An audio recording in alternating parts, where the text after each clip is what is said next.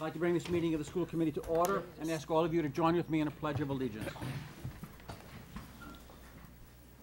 I pledge allegiance to the flag of the United States of America and to the republic for which it stands, one nation, under God, indivisible, with liberty and justice for all. I want to welcome everybody in attendance here tonight, and thank you for coming. I also want to welcome our viewers on television. The first item on our agenda is to receive comments. Is there anybody attending tonight's meeting who isn't already on the agenda who would like to speak to the school committee? Okay, I'm not seeing any hands in the audience, so I'm going to move along. Uh, From our student representatives, we'll start with North. Thank you. The AP exams begin today and will continue through Friday, May 17th. Please check the website for specific dates and times. PNHS graduation will be held on Saturday, June 1st. Um, Plymouth North has the morning graduation this year, this year, which will begin at 9:30 a.m. This event will be held on the Plymouth North High School's football field. In the event of inclement weather, the ceremony will take place inside the gymnasium. Upcoming events for seniors. Um, Senior Fest is May 15th. Um, the senior final exams are Monday, May 20th through Thursday, May 23rd. Makeup, ex- makeup exams will be Friday, May 24th. Hypnotist night is May 22nd. Last day of classes is May 23rd. Um, class day is May 24th. Graduation practice is May 28th. Dinner dance is May 28th. Graduate another graduation practice is May 30th, and convocation is May 30th. And the two graduation practices are mandatory. The fifth annual Empty Bowls will take place on Thursday, May 9th from 6 p.m. to 8 p.m. Um, at Plymouth North High School. The cost is $10 per person. Enjoy a meal of soup and bread with live entertainment and a silent auction. The junior prom will be held on Friday, May 17th at the Indian Pond Country Club from 6 p.m. to 10:30 p.m. Please make sure to check your student's Aspen account to get the most um, current academic standing. M- Math MCAS for grade 10 will be held on Tuesday, May 20, May 21st, and Wednesday, May 22nd. Attention juniors attending prom on Friday, May 17th. Permission slips for early dismissal on prom day are now available to pick up in student services. Please fill them out and have your parents sign. All completed forms are due to student services by Friday, May 10th. On Thursday, May 2nd, the students from the technology and vocational programs offered at North showcase their projects in the cafeteria at Plymouth North High School. The, the event was a huge success, allowing the students to present what they had accomplished throughout the four years in the vocational tech program. Next week, May 13th through May 17th, will be Speak Week. I don't know if it's Speak the Word or SP or the acronym. Um, is and it's about kindness, showing, um, showing kindness, noticing kindness, sharing kindness, and encouraging kindness. Um, Speak Week stands for stand up, stay strong, stand together, pay it forward, encourage one another, advocate for change, and kindness starts with one. During advisories um, this week, students will participate in activities revolving around acts of kindness. The Patriot League Scholar Athletic Dinner will be held in the in Hingham on Tuesday. Two students from Plymouth North were invited to attend. Congratulations to Sadie Fosdick and and Aiden Campbell for being named Patriot League Scholar Athletes from Plymouth North. On Wednesday, May 8th, the junior class will be attending a presentation called Taylor's Message during a school assembly. This presentation is facilitated by both Kathy and Chris Sullivan with the goal of delivering a message of hope, love, and a new and a newfound power for students to deal with peer pressure, tough choices they face every day. Thank you. Okay, thank you for that report. And now we'll go to South. Hi guys, um, today is going to be my last meeting because unfortunately I cannot attend the next meeting, but I just want to say thank you to everybody for the past two years. It's been a wonderful, wonderful experience, and I wrote you guys a little bit, little card, and I hope you guys got the chance to read it. All right, so for the last time, um, congratulations to the students and staff of the Plymouth South High School Theater Guild. Their performance of the musical Anything Goes was a huge hit. Set design, costumes, acting, singing, dancing, and of course, the pit were phenomenal. We are very proud of these students and all of our staff. Our 2019 AP exams began today and will take place through May 17th at St. Bonaventures. Um, it's off campus for a quiet testing environment with no distractions. Our senior final exam schedule, as well as the end of year of the end of the year final exam schedule for underclassmen, has been shared with all staff, students, and parents. And the 2019 CCTE Senior Showcase will pla take place tomorrow night on May 7th at 7 o'clock in the cafeteria. You can come see all the amazing amazing projects our senior technical studies students have been working on throughout the years. Our junior prom assembly will have a special presentation as well as Plymouth North of Taylor's story on May 8th at 9:30 a.m. Taylor's mother shares a story of the death of her daughter on prom night due to alcohol consumption. In addition, an evening portion is being sponsored by PYDV at the Spire Center downtown at 6 o'clock. The Plymouth South High School Spring Choral Concert will take place May 8th at 7 o'clock. And uh, the Plymouth South High School Junior Prom is May 10th at 6 p.m. at Indian Pond Country Club. If any of you are going, I'll see you there. Um, our student council raised over $450 for the Walk of Hunger in Boston. Members walked five miles in support of this wonderful fundraiser. And our annual Top 10 breakfast will take place May 16th at 8 a.m. at Southside Fair. This is one of the best events of the year as we recognize our top 10 seniors in the class of 2019. Our athletic senior award nights will take place on Sunday, May 19th at 6 p.m., and over 100 senior athletes will be recognized for their commitment to athletics at Plymouth South. We want to congratulate our Skills USA competitors who earned medals last week at the state competition at Blackstone Valley Tech. Bronze medals were won by Tyler Beatty with job interview plumbing, Sam Gray for early childhood education. Our silver, med- silver medals are won by Jessica Johnson for auto refinishing, Lexi Holmes and Liz Kavanaugh for cosmetology. And for our gold medals, we have Abby Fernandez with commercial baking, and Maria Baker was elected to a second term as a Skills USA Massachusetts State Officer. The Plymouth South High School and the Massachusetts State Track Coach State Track Coaches Association ho- hosted over 900 athletes this past weekend at the freshman and sophomore invitational meet.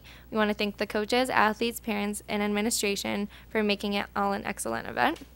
And finally, on Friday and Saturday, Alex Godfrey, Melena Manick, and Julianne Morris participated in the Massachusetts Science and Engineering Fair at Massachusetts Institute of Technology.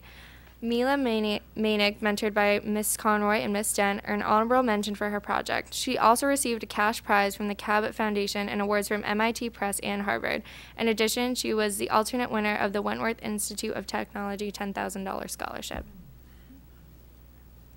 Let me say that uh, you thanked us, but really it should be the other way around mm. because both of you, I'm blushing. both of you bring bring a great deal of information that we wouldn't we wouldn't have access to. So that's really appreciated. But in addition to that, there have been times when we needed your opinions and your thinking on some on topics, and that was very valuable to us. So mm-hmm. we thank you for all the time you've spent here. Thank you very mm. much.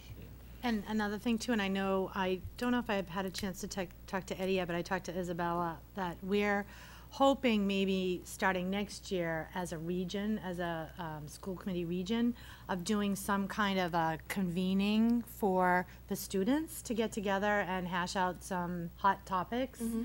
And I know that I talked to you about it, Bella, about, you know, if it was too late, maybe to squeeze it in this year, and it, we kind of figured it would be. Yeah. So I'm hoping that maybe you guys can come back and visit us next year if we do it. Of course. I, I think we're maybe even looking at doing it as more of like an orientation. Yeah. Um, for the beginning of the school year, getting all the students together, similar to like a roundtable discussion that they do at the conference. Yeah. So, um, we'll make sure that we get you back here because you guys did a great job for the last couple of years, and I'm sure you'd be a great resource for the new ones coming in. Oh, thank you. Yeah, And thank We're gonna be close anyways. Maybe if I come home, my mom will buy me stuff for my dorm. So. Okay. Moving on. um, Our first uh, presentation this evening is uh, School Improvement Plan, Dr. Maestas. Yes, good evening, everyone. Tonight, we have the school improvement plan from Indian Brook Elementary School, and we have uh, Principal Erica Manfredi, along with Assistant Principal uh, and team. So Erica, if you wouldn't mind introducing everyone, we have Courtney Tripoletti as Assistant Principal, And we have a number of people that our committee have seen uh, at the table before and um, well-known around Plymouth. So Erica, if you could just announce your team.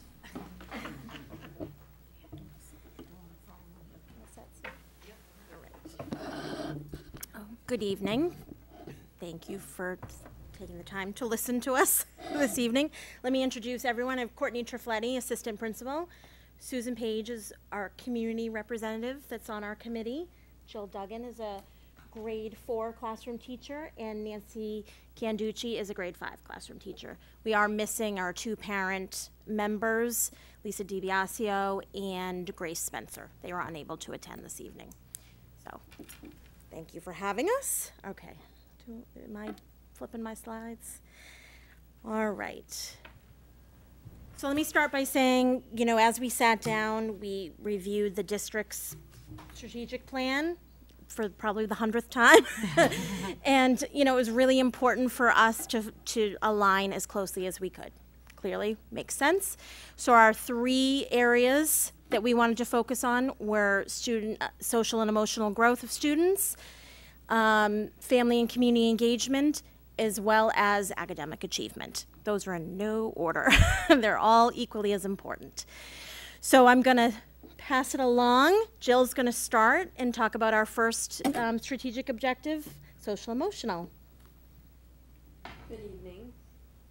Um, The first, our first goal is, um, goes along right, al- Jill, you want to hold that microphone? There's one right in front of you. Thank you. Does it just? There you go. Well, that- I think it's that's on. mostly for cable, so you don't, you won't hear the, ec- you won't hear a speaker. Oh, wow. It all works. So our first objective goes right along with social emotional growth.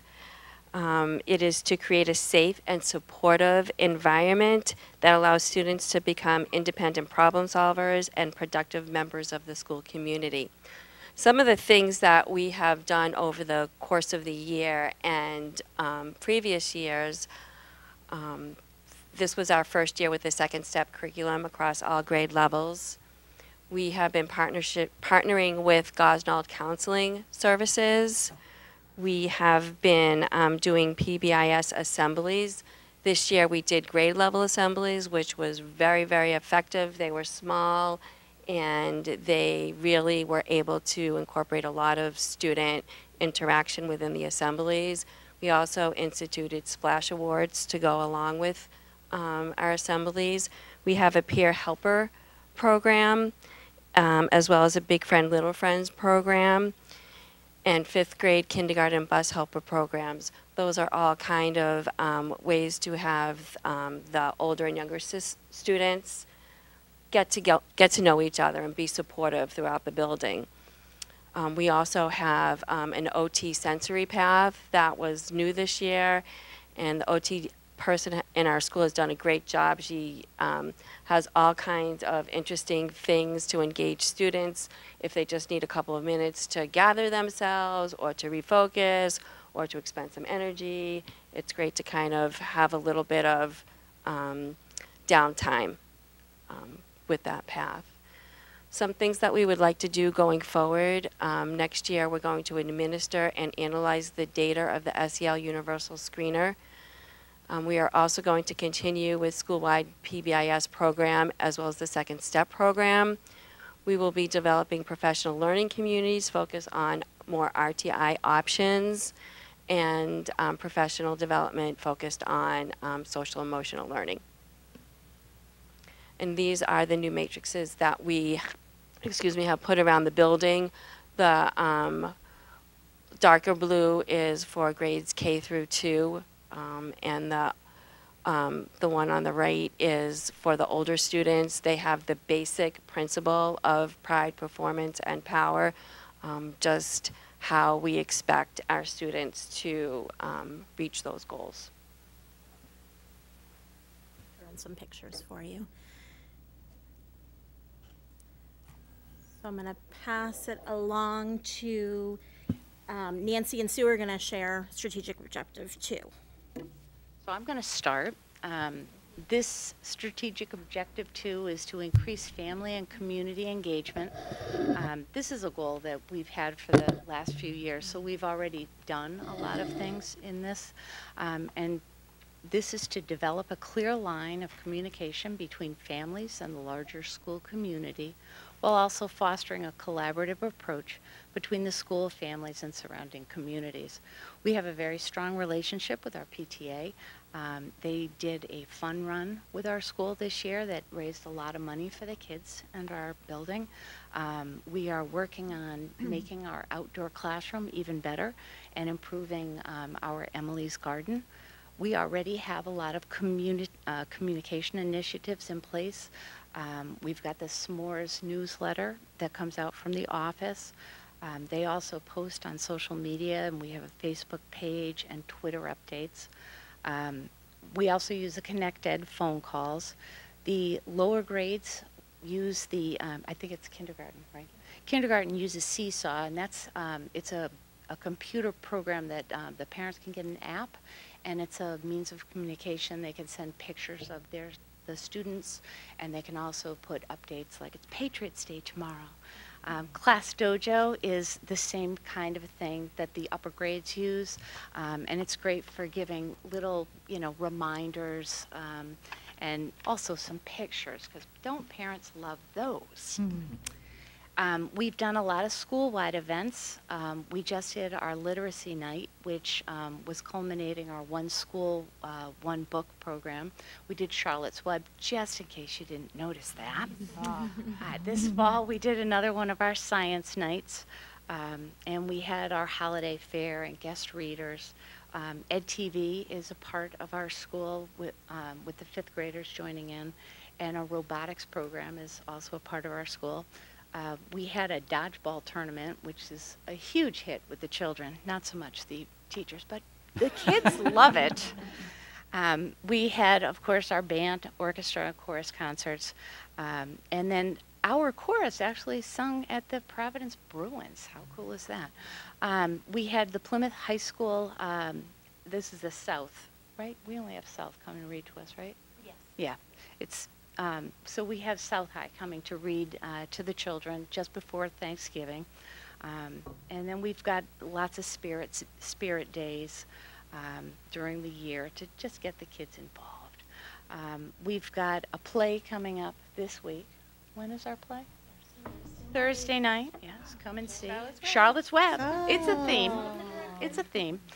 Um, and then our fifth grade um, is going to have a carnival, carnival and a faculty basketball game. Ooh, another good one. Can't wait. It's going to be awesome. Here you go. Oh, do I use this one? It's up to you. Oh, okay. I'll use this one. Now, throughout the upcoming school year, the implement- implementation of Goal 3 to increase communication between the school and our parents. First, the classroom teachers will communicate with the parents weekly, biweekly, monthly, using whatever tool they're comfortable with a newsletter, web page, or email. A new part is, secondly, the specialists will also communicate with parents on a monthly basis, again using whatever communication tool they feel comfortable with, to inform parents about the grade level expectations and curriculum in their specialist areas. Thirdly, at open house in the fall, parents will be introduced to the scope and sequence of curriculum areas at each grade level, as well as our PBIS matrices. Also at that night, parents will receive a trifold type of document outlining the scope and sequence presentation that they can have at home and refer to. And if they have a question, say at conference time or whatever, they can come and bring it and point to it and say, how does this match up with this? Now, finally, in the spring of 2020, parents will complete a survey on the success of all these communication tools. And adjustments, if needed, can be made from the results of that survey. Thank you so much. So I'll be talking, oh great, those photos.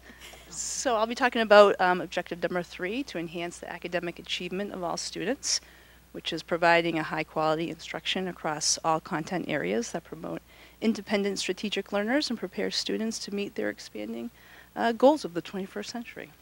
So some of the ways that we have already done this um, is, as Nancy mentioned earlier, our One Book, One School, Charlotte's Web this year. Um, in addition, we have administered the grade level math assessments to identify students for intervention, as well as the BAS reading assessments. Um, we will meet as, we will continue to meet um, with child study teams um, to analyze these results. Um, going forward, we will continue with professional development and school-wide programs for teacher collaboration.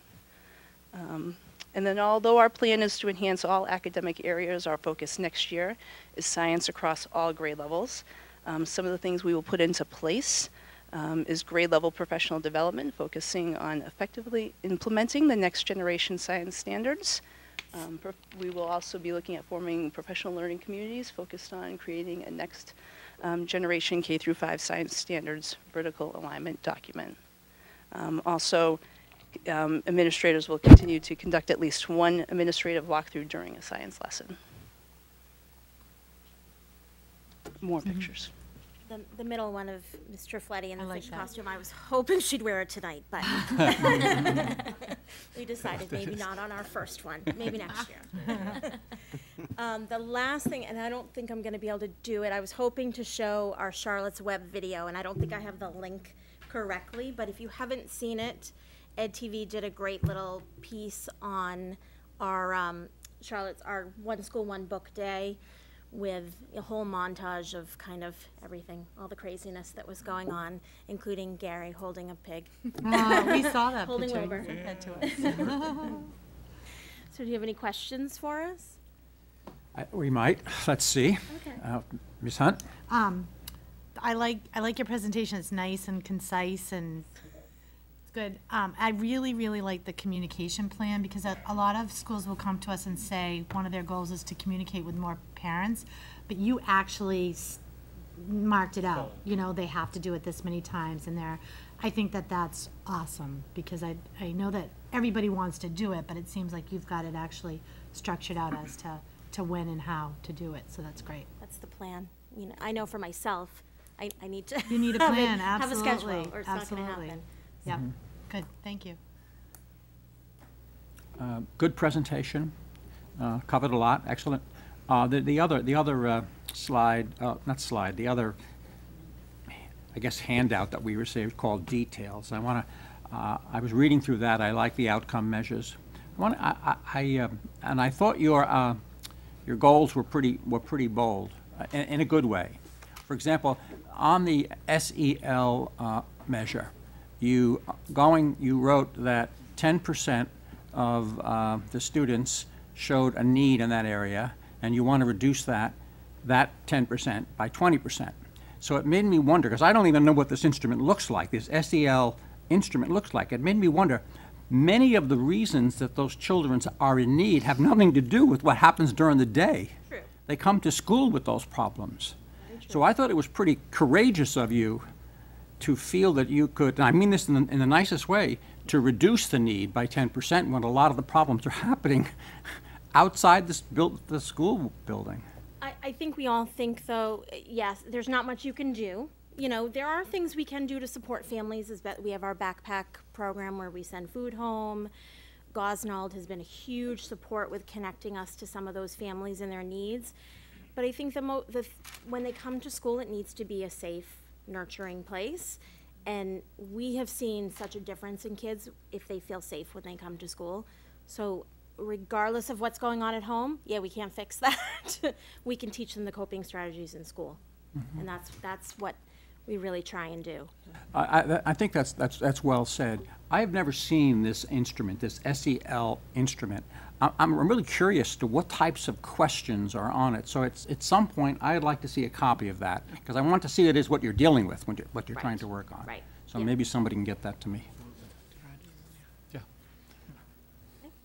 Any other questions or comments? Okay, that was great. Thank you very much. Thank you. Thank you.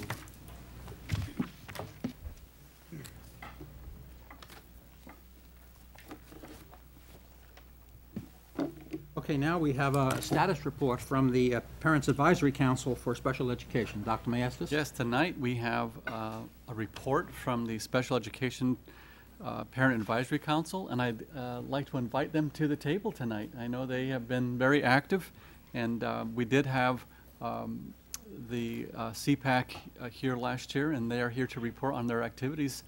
Um, And they've supplied a a PowerPoint presentation for tonight, and they will be uh, uh, walking through that for us. Good evening and welcome. Glad you're here this evening. Thank you for having us. We need to continue Yes, that's the one you need. Use that microphone. We were just wondering to change slides. Um, is it, Yes, so on that remote, there's a right arrow. You click the right arrow and it'll advance. thank you so much. Yes. Uh, You need to hold that microphone as you speak. That's you. that's for the TV. Thanks.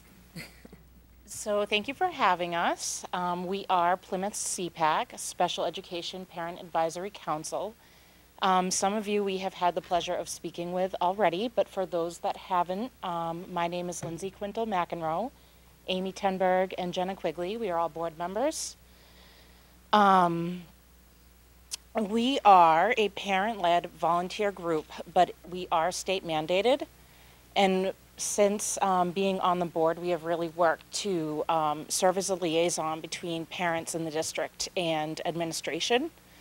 Um, we hear a lot of outreach from parents, um, problems, concerns, and we we hear them out. We do our best to train parents and empower them, but also we want to take it a step further um, and communicate those needs um, and those problem areas to administration. Oh, sorry. yes, thank you.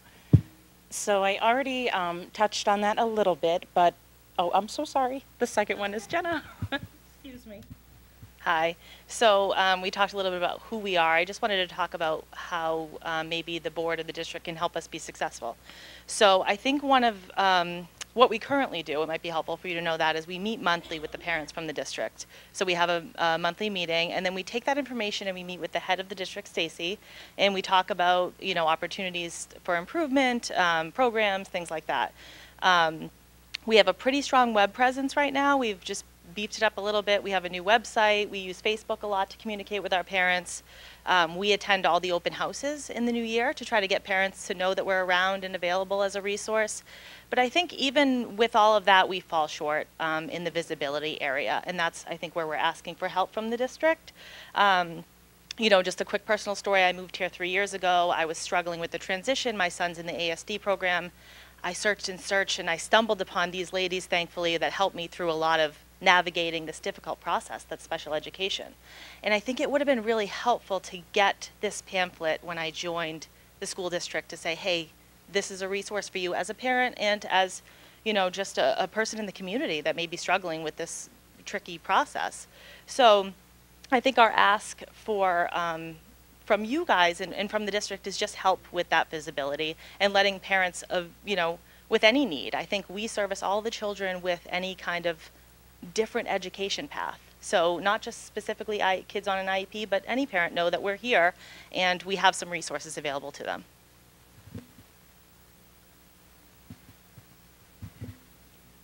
Thank you. Sorry. Um, so we have guided parents and assisted them through navigating the special education process. A few of the topics um, we have discussed during parent meetings this year um, are MCAS, MCAS supports, how to implement those, um, how to individualize them. Um, we focused a lot on the idea that it's important to really look at the whole child, um, not just academic performance, but social skills, ADLs, um, transition skills, which are all important. We have a lot of parents that reach out to us the night before an IEP meeting in a panic. Um, so the idea behind parent empowerment is we want to prepare them ahead of time before it gets into a crisis type situation. Um, so these themes here that you see on this slide are things that we have worked on all year. We would like to continue to work on them. Um, we would welcome the um, district's involvement in helping us to provide parent training meetings Um, we do have Jerry Thassell doing a social thinking um, presentation for us next. We would like to delve into that area a little bit more. Um, because I think parent training, from what we have heard, what we have seen, um, is definitely an area that could help improve um, the students' um, success.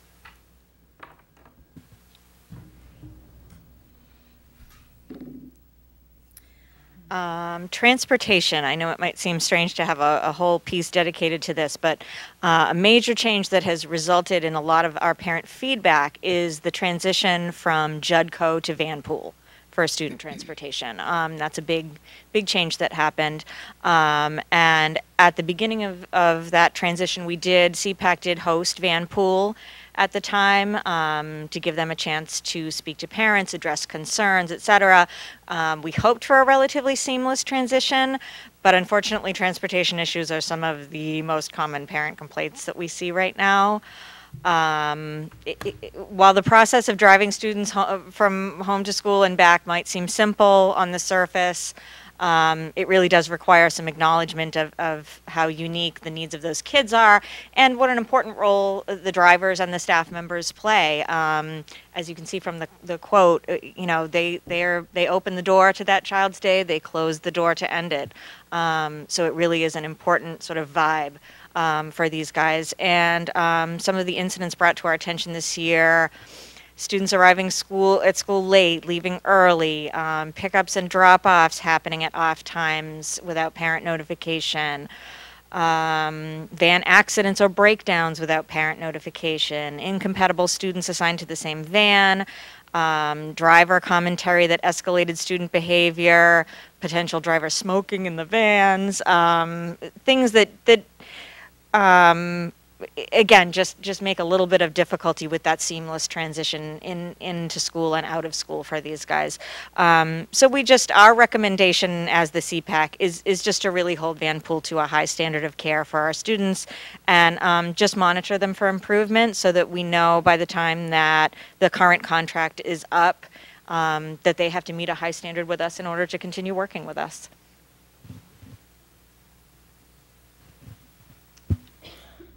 So I just want to read this quote out loud because I think it captures the essence of special education to some degree. Um, behavior change in a student doesn't happen because we write it in a plan. It happens because we change our behavior. The miracle isn't in the document. It's in the professionals that carry out that plan with fidelity. And I think that's really important to remember as, as we kind of talk about this. So I think, you know, we talked to Stacy and we do understand that the district is struggling, struggling with staffing issues. Um, and I think just being mindful that consistent, knowledgeable staff is crucial for these kiddos' success.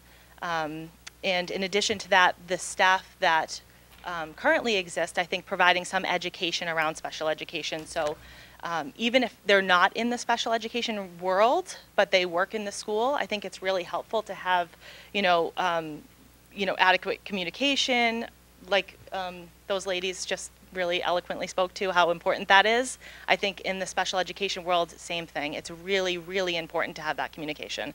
Um, awareness of inclusion practices, effectively writing an IEP, which is a, just a whole world in and of itself, um, understanding behavior interventions and state guidelines, knowing the laws around special education, and being able to capture and record meaningful data is really important for these kiddos. So, you know, I think some of the parent feedback has been it would be great for the district to provide additional training. Um, and as a community, I think we really need to support our teachers and make sure that they have the resources and the educational um, opportunities and the staff ratios to be able to um, execute on some of this stuff. Um, and we'll just try and uh, keep this brief and wrap up our presentation by saying that you guys, of course, know um, that this school year's theme is This Is Me inspired by the powerful song from The Greatest Showman. I was personally honored and proud to have two children on that Plymouth North stage singing that inspiring anthem for our teachers in August. It was a beautiful, beautiful day. And um, I'm equally mindful of the message behind the song because I have a child with a disability in special education. This Is Me is about more than personal pride and embracing individuality. It's about fighting for acceptance and empowerment as a person who has differences, um, who may not meet the same expectations as everyone else. So we're here with you today to speak on behalf of the children in our schools who need your help to reach their full potential, um, so that they can stand on their world stage and say, Look out, because here I come, and I'm marching on to the beat I drum. I'm not scared to be seen. I make no apologies. This is me. Thank you very much, and we're happy to answer any questions you might have. Mr. Moore. Um, you mentioned the issues with uh, transportation and van pool. Did you see any improvement from the beginning to the year to now, or has it been? I think there have been some. I know Stacy has been working really closely with them and um, trying to kind of um, solve some of those questions. I think some of it has to do with um, getting a little bit more of a, a, distinctive line of communication. What you know, if you have a concern, who to call first. Um, I know the last time we met with Stacy, we discussed that we weren't sure if, if Vanpool was keeping quite the same records that Stacy was. I feel bad. I should say Dr. Rogers. um, um, um, no offense. um, it, it, that we weren't sure if there was consistency between the records they keep and the records you keep, and and making sure that um, nothing is winding up getting uh, under uh, underreported or confused in that way. But I know um, I know Stacy has been working with them on that, and I think it's I think it there definitely have been some problems that have been solved. I think the the consensus within the community is is this going to be the thing now where every week there's another problem or are we going to be able, be able to establish sort of a baseline of most of the time we're good occasionally there's an issue make sense Ms. Badger. I just wanted to say thank you guys for all that you do. I'm so glad that you're here in front of us to give a presentation because what you you do is so important. And I also want to apologize for not being able to make a meeting yet this year, so I apologize for that. and it brings up, and I think I've brought this up every year for the last three years that I think it's really important that we have. I know I'm an unofficial liaison, but I think we need an official liaison to the CPAC. I bring it up all the time. I just think that they do the same work that some our school um, councils do. It's just an, a, a, district council in some ways. So I'm just going to put that out there again mm-hmm. for our discussion. It's, We're happy to have anybody come hang with us who, who is, if you are invested in our children, you get a seat at the table, my friend. Oh, no, I, I think we'll I follow up, I think we'll follow up on that. Because I know I've brought it up, I think, every year, but I do think it's Mm-hmm. really important, and, you know, if I can make their meetings, I try to, but my work schedule's been a little crazy this year. Mm-hmm. You're talking to people with, uh, children with disabilities. We understand it's a crazy schedule, so it's okay. Ms. Haywood. Um, I just wanted, uh, so your, your presentation was awesome, and I did have the pleasure of meeting, um, most of you, um, uh, uh, last year. Uh, and I want to say, um, that I actually agree with Michelle in terms of having a specific counsel or specific liaison for um, special ed. Um, two, I just wanted to ask, I guess, some questions. Um, in terms of visibility, what exactly is it that you need? So I think one of the things that would be helpful, we have this great pamphlet that the district has made for us, which we love, except for um, it, it's not, I don't think it's getting out to the population. And I know there's some privacy things that we have to navigate with something like this, but I just think um, even, you know, website presence, um, any kind of thing that we would do to promote anything else. So, you know, we do a lot of promotion of school activities. I think, you know, promoting the meetings, um, just giving this to everybody or anybody who seems like they're struggling or needs a 504 or even has a meeting to talk about that. I think this might be helpful to get um, in that packet of information. Um, also, too, with the um, parent trainings, can you like expand on that? Um, so we have crowdsourced a bit um, about what topics parents would like to see. Um, feeding um, concerns, ADL skills have been a big concern. Um, transition for our older students, which um, the problem is, I think sometimes people start thinking about that a little bit later than they could. Um, it's important to be mindful of that early on, so we would love to have somebody come in and talk about that process, what that looks like. Um, we'd be happy to hear any additional ideas. But I think starting with social thinking is great because it is a district-wide program. It's in most of our schools, um, if not all. Um, so that's what we were thinking, but the problem is, and it relates to the visibility, if people don't know about us, you know, it, it kind of, it's a little bit worrisome to schedule somebody to come and present um, and not have the, the audience that we'd like to have. Sure. The other piece of that, I think that would be helpful, is the fact that, uh, you know, we have to bear in mind, I mean, we, uh, we've done a fair amount of, of research um, as a part of this group because it's just a necessary evil. Um, but we, we do try to bear in mind certainly that most of the parents, they enter this world of special education or of disability.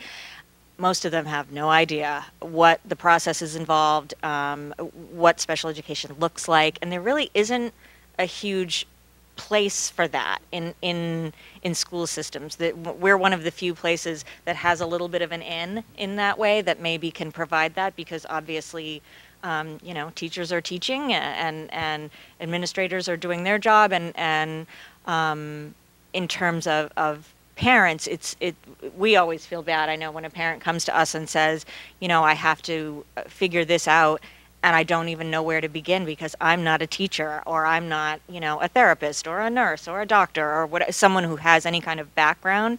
So we might be able to provide a little bit of that at least as, as a jumping off point if we have opportunities to say, hey, you know, if, if, if you have a child whose MCAS is coming up and you're not sure how to approach uh, uh, getting them through that, come and we'll have an expert here and we'll, we'll chat about it, you know. Okay. Ms. Hunt? Um, I, I, I totally understand. I mean, even like me as a parent that knows the school system, it's, it's hard. And I can't even imagine what it would be like for a parent coming in brand new that didn't know anything and needed a little extra. And I'm, I'm still thinking about your communication and your pamphlet. And I'm like, I'm wondering, you know, when, when you enter the district and you start that process, so that should be the time that you are made aware of your committee. Um, I was in Framing, uh, Framingham School this morning, and they had a parent resource center, and with my PTA hat, that's like the Cadillac for me is when schools have those kind of resource centers or libraries for parents. But again, you got to get the parents to know to go in there um, to to do that. Like they have like almost like a library for parents where they can get can get resources. But um, and I know you said you go to all the open houses, but see, the, the students are already in the school by then. Like, you need to get them right when they register for school. I don't know if it's at kindergarten or new students coming in. Um, Yeah. yeah, so can you, is there any way you can hook up with like the PTAs in those schools and maybe, or when they do a kindergarten event, like the early childhood did a fair this year? And y- were you, I don't know if you were there or not, but maybe you should have had, you could have had a table there where it was all students, there were students there actually registering for kindergarten. So I'm just thinking we need to like go backwards a little bit to get them when yeah, they're we can just absolutely entering our try whatever you think would be helpful. I mean, that's part of why we thought if there was at least a baseline system, whether it's putting this pamphlet in every registration packet, whether it's, um, again, making them available at every IEP or 504 meeting, um, just something that would be Yeah, a little bit of a jumping That's off. where I was going to go with it, because when, with every IO uh, IEP meeting, whether it's the annual review or reevaluation or a 504 accommodation plan, paperwork is going back and forth between the home and the school. Right. Oh, go ahead. Uh, You guys And there should be a on that. personal meeting with the team. We were saying the same thing. I think the initial evaluation time, when you're. Yeah, I mean, if this, if we had enough of these that that could become part of the standard packet, I think that would be a great start. Time to do it because it doesn't, you know, The and fall retention. and doing it early Yeah. in the year is Yeah. good, but, Retention till you you read it. know, you could have a four-year-old who's going through that process for the mm-hmm. first time in, you know, January.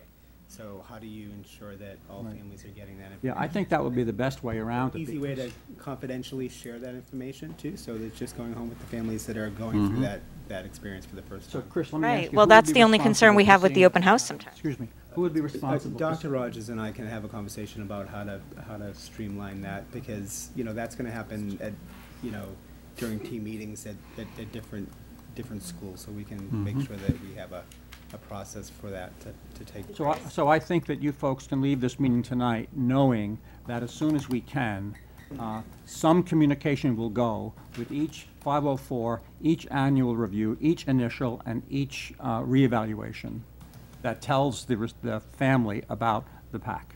You can go home tonight knowing that's going to Wonderful, happen. thank you. And now, be careful what you wish for, Yeah. because you're going to be getting a lot of phone calls, and a lot of people are going to want help. Hopefully, we'll get more volunteers too. Let's There you look go. at that. Ms. Hayward. I, I will say in meeting, um, in meeting with them um, last year, this this group is probably the most informed.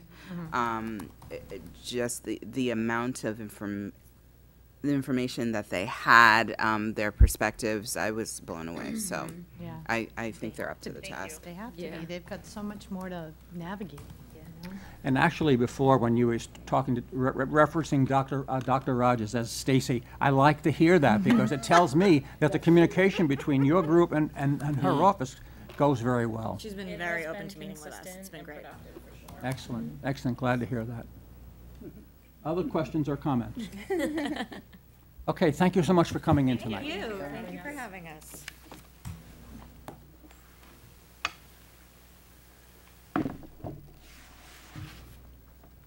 We will hold our next agenda item until our uh, senator and state reps arrive.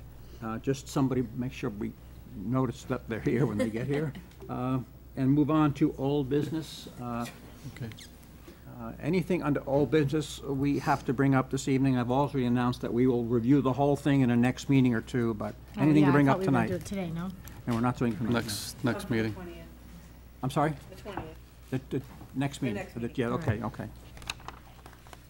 Okay, a new business, committee members. Okay, seeing no hands. Uh, the superintendent's report, Dr. Maestas. Yes, this evening I have uh, some very uh, good things to announce. I'll start with the first item, and I know uh, Mrs. Burgess uh, probably doesn't want me to announce this, but I'm going to announce it anyway. Um, She, uh, Ms. Burgess has been um, nominated and is going to be receiving uh, the Crystal Apple uh, Award for Excellence in Education by her church. And um, I just want to highlight that Ms. Burgess is, um, is going to be receiving this honor, and I think there's no better beacon of educational uh, effort in our district than, than Margie. She's done a wonderful job for many years, and she's being recognized by her church. That's going to be May 15th, 2019. I know some of us have received uh, an invitation, and Margie, we will be there to, um, to embarrass you or uh, do a few other things to, to allow others to, to recognize you. So uh, honored to, to have the opportunity to be there, and uh, uh, congratulations on that. Thank you. While you're there, you'll probably meet some teachers from the system because it's really a teacher appreciation night and dinner. That is for the wonderful. Teachers in the system. And um, also, the thing for it, for me, that the important part of the award is that it's, a, a- this is the beginning of the award. That it's going to move forward and be an award every year, but in my name. Wow. And uh, so for, for someone in the community. yeah. That's wonderful, Margie. Yeah. That's wonderful. So I'm, I'm glad that we could highlight that, and uh, I just want the community to know that uh, we have some, some leadership on this board uh, across the, across the table, and it's wonderful to see one of our committee uh, getting recognized for that, that leadership. And um, I had the opportunity last week to go to Yom HaShoah. It was a commemoration of the Holocaust and, and other acts of genocide in, in the 20th century, and that was uh, put on by the Interfaith Clergy Council and No Place for Hate. And it was uh, a, a great evening. Uh, we had uh, student performances, um, and they, you know, just so proud for our students to be part of that uh, and to be able to experience um, that message of, um, you know, the, the, the theme for, for this year uh, had everything to do with free speech uh, and also free society.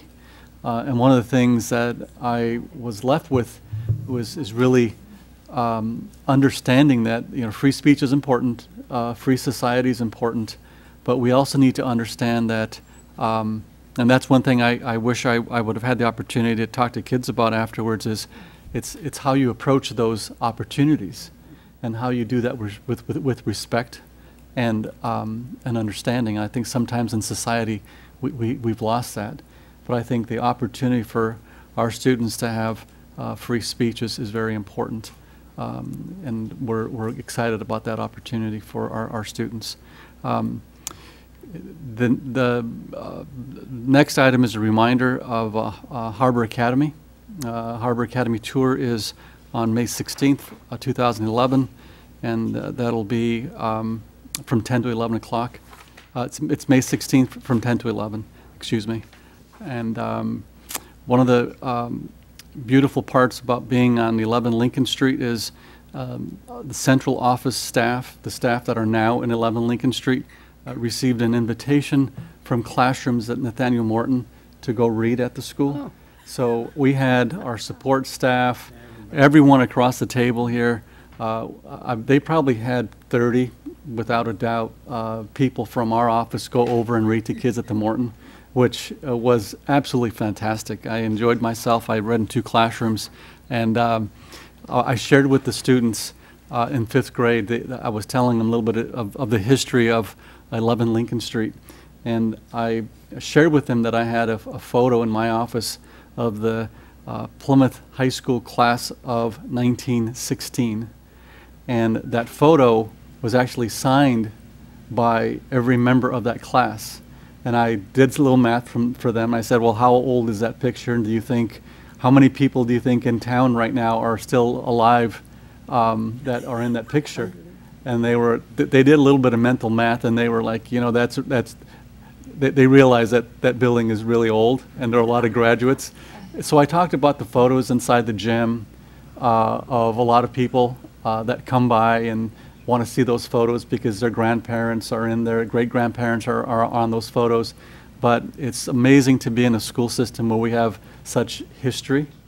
And there are a lot of, if you look at the, at, and I'll, I'll share it with you when you come over to Central, um, the names on the back of that um, photo, uh, on that class of 1916, uh, the former president of Massasoit uh, uh, Community College was in my office the other day, and I showed it to him, and he turned it around, and his great grandmother, no, his his um, great aunt was uh, signed, and, and, and she was actually in that photo, and it was just by happenstance that he had the opportunity to see that, and it's it's pretty heartwarming to see people see their relatives and they graduated. So I said, I guess you really are Plymouthian, you know, and absolutely. So there's a lot of Plymouth names on, on, on, on these uh, photos. And um, what we're going to do with these, these photos is, is keep the framing on front, but we're going to actually put a second frame underneath the photos so people can actually see who the people uh, are that actually sign off on that, on that graduation picture. I have the class of, um, of, of 1916 and the class of 1922.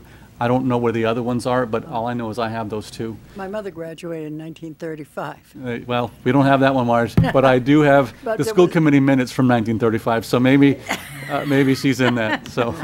But also, the other thing, when you were talking about um, going over to Nathaniel Morton, um, in the past, quite a few years ago now, I, I have two from it, but they, the Nathaniel Morton painted in an art class. Yeah. Little pictures like this, like crazy little pictures, but I have them because they add some color and happiness. And um, so it'll be really nice when it's the school department that they're putting a whole bunch of them out for people to take when they come in. Yes. It's very nice, so th- it would- that would be great. So what we're going to do at uh, 11 Lincoln Street is the first floor will be student artwork, and like we did at, at, um, at 253 South Meadow Road, the second floor will be photos of the history of Plymouth schools. Okay. So we can see old buildings. I have, um, Bill, Bill, Bill Cohen shared with me a, a, an archive of old photos. We're going to frame those along with other photos that we have. What's pretty interesting about this photo that I have uh, with the class of, uh, of 1916 is they're sitting in front of the building that we're in. And that was when they were going to school there, which is pretty interesting that now we're back there. Right. So there's some great history there to be shared. Um, And um, just want to give everyone an update on Obery Street. Uh, I met with um, Jonathan Beder, the DPW director, this morning, and um, it looks like the work is going to begin on um, the Sandwich Warren uh, Ave area. um, and also the, the South Street area. So both sides of Obery Street, they're going to work on those sections first. They will not start working on Obery Street itself until after school is out. Uh, They want to minimize that disruption during school hours. So uh, you- you've already, if you've driven down, um, you know, Warren Ave, Sandwich, and and also on South Street during morning commute, you've already noticed some level of disruption. And, and you- you'll start to see some, some disruption there on those intersections more than you will on Obery. But just getting there might be somewhat of a challenge. Okay? So um, that's, that's a, that's a as of this morning. They're going to come up Nook Road and use, use uh, the school for a Yeah. cut-through. Uh, Well, they've been doing that since we built it, so, yep. Ms. Badger? Has that been causing any delays for students getting to school in the morning? Not yet. They're. Okay. But anything, uh, in, in our, in our uh, school um, setting, um, students probably will already start claiming that's the reason why they're late, so. All right. Dr. Sorensen, back to you. Questions? Okay, uh, health curriculum. Um, The only update we have since our last meeting is we're happy to say that we have posted for additional elementary health educators, excuse me, that was off for some reason. Um, Since our last meeting, we've posted for additional health educators, so we're happy to say that we'll be um, obtaining the staff to have a K to five um, health education for the upcoming school year. So we're really excited about that. So um, we hope to get those applications in soon, start that process. We've identified a couple of the principals that will lead that that search, and um, we'll have some additional teachers for the upcoming school year. Ms. Badger? Question, sorry.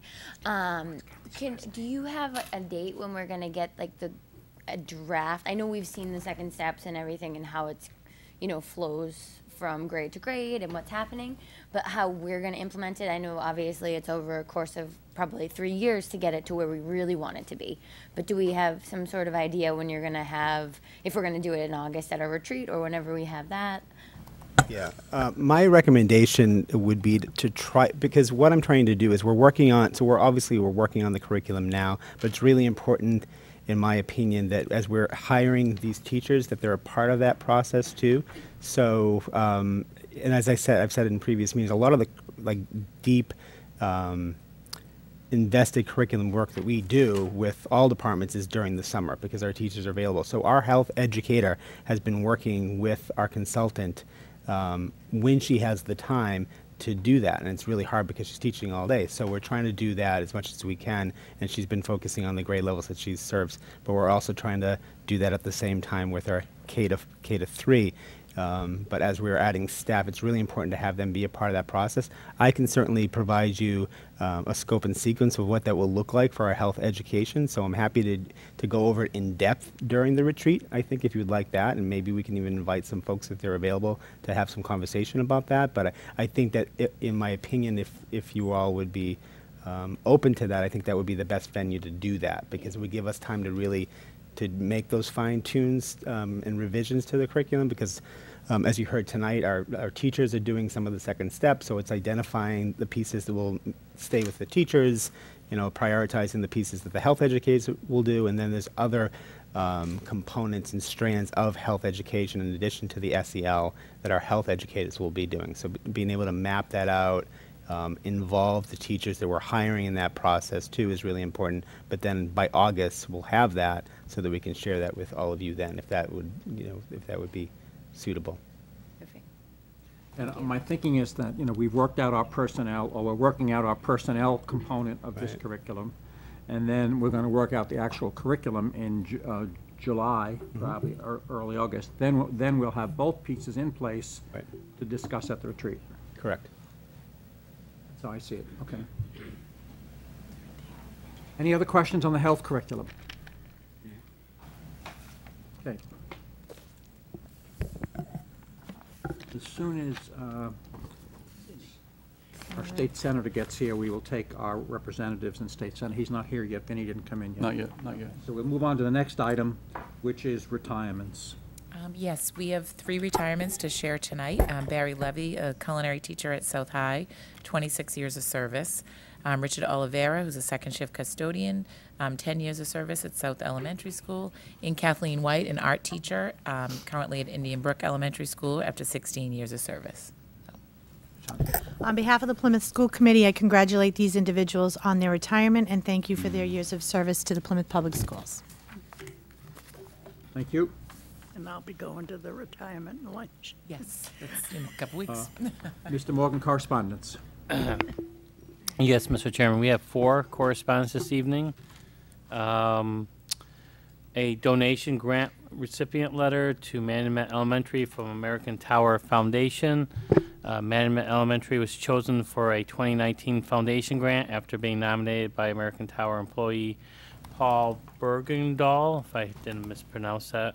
Um, and three thank you letters from Allison Reardon uh, to the Plymouth Garden Club for their generous contributions to the district uh, wide fifth grade curriculum, uh, to the uh, St. Vincent de Paul um, Society for Camp Invention Scholarships granted to Plymouth students in need to attend this camp this summer, and to Mr.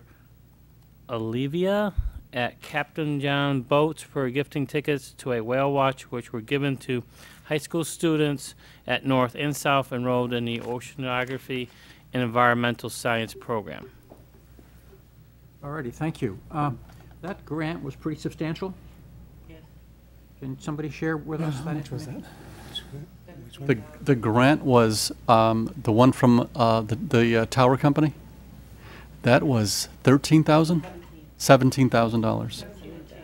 And and just Dr. Sorensen to, to that point, you know, um, w- we're very fortunate that we have a lot of organizations that support the school system. Um, this grant for Manomet Elementary School was seventeen thousand dollars. And uh, it's, it it was, uh, the grant was written to be able to uh, purchase additional technology uh, for the school. The principal wrote the grant, and we're able to, to get that. And uh, Captain John Boats, uh, Bob Avila, who, who actually owns Captain John, is a friend of the district and calls me up uh, once a year and says, hey, uh, I want to give a boat. Um, Can you populate it? So talk with Allison Reardon. Uh, Sometimes it's a fifth grade uh, distribution, sometimes it's a high school. Um, Have some marine biologists on board, and he takes them out, and they saw uh, whales, dolphins, and I don't know, they, they had such a great, from my understanding, it was a, a very good experience for our kids. A little bit rainy that day, Mm. but um, it's something that, uh, it was calm though, It- yeah. It- It's something that, um, that, that we have a great opportunity to experience here in our community. That's excellent, that's excellent. Uh, Okay, um, we have the honor tonight to have our state representatives, Kathy LaNatra, Matt Muratore, and our state senator, Vinnie Di Di Macedo, have been willing, agreed to be here this evening and help us understand where we are at the state level. Could you please come down and join us at the table? Just go to it and it'll say.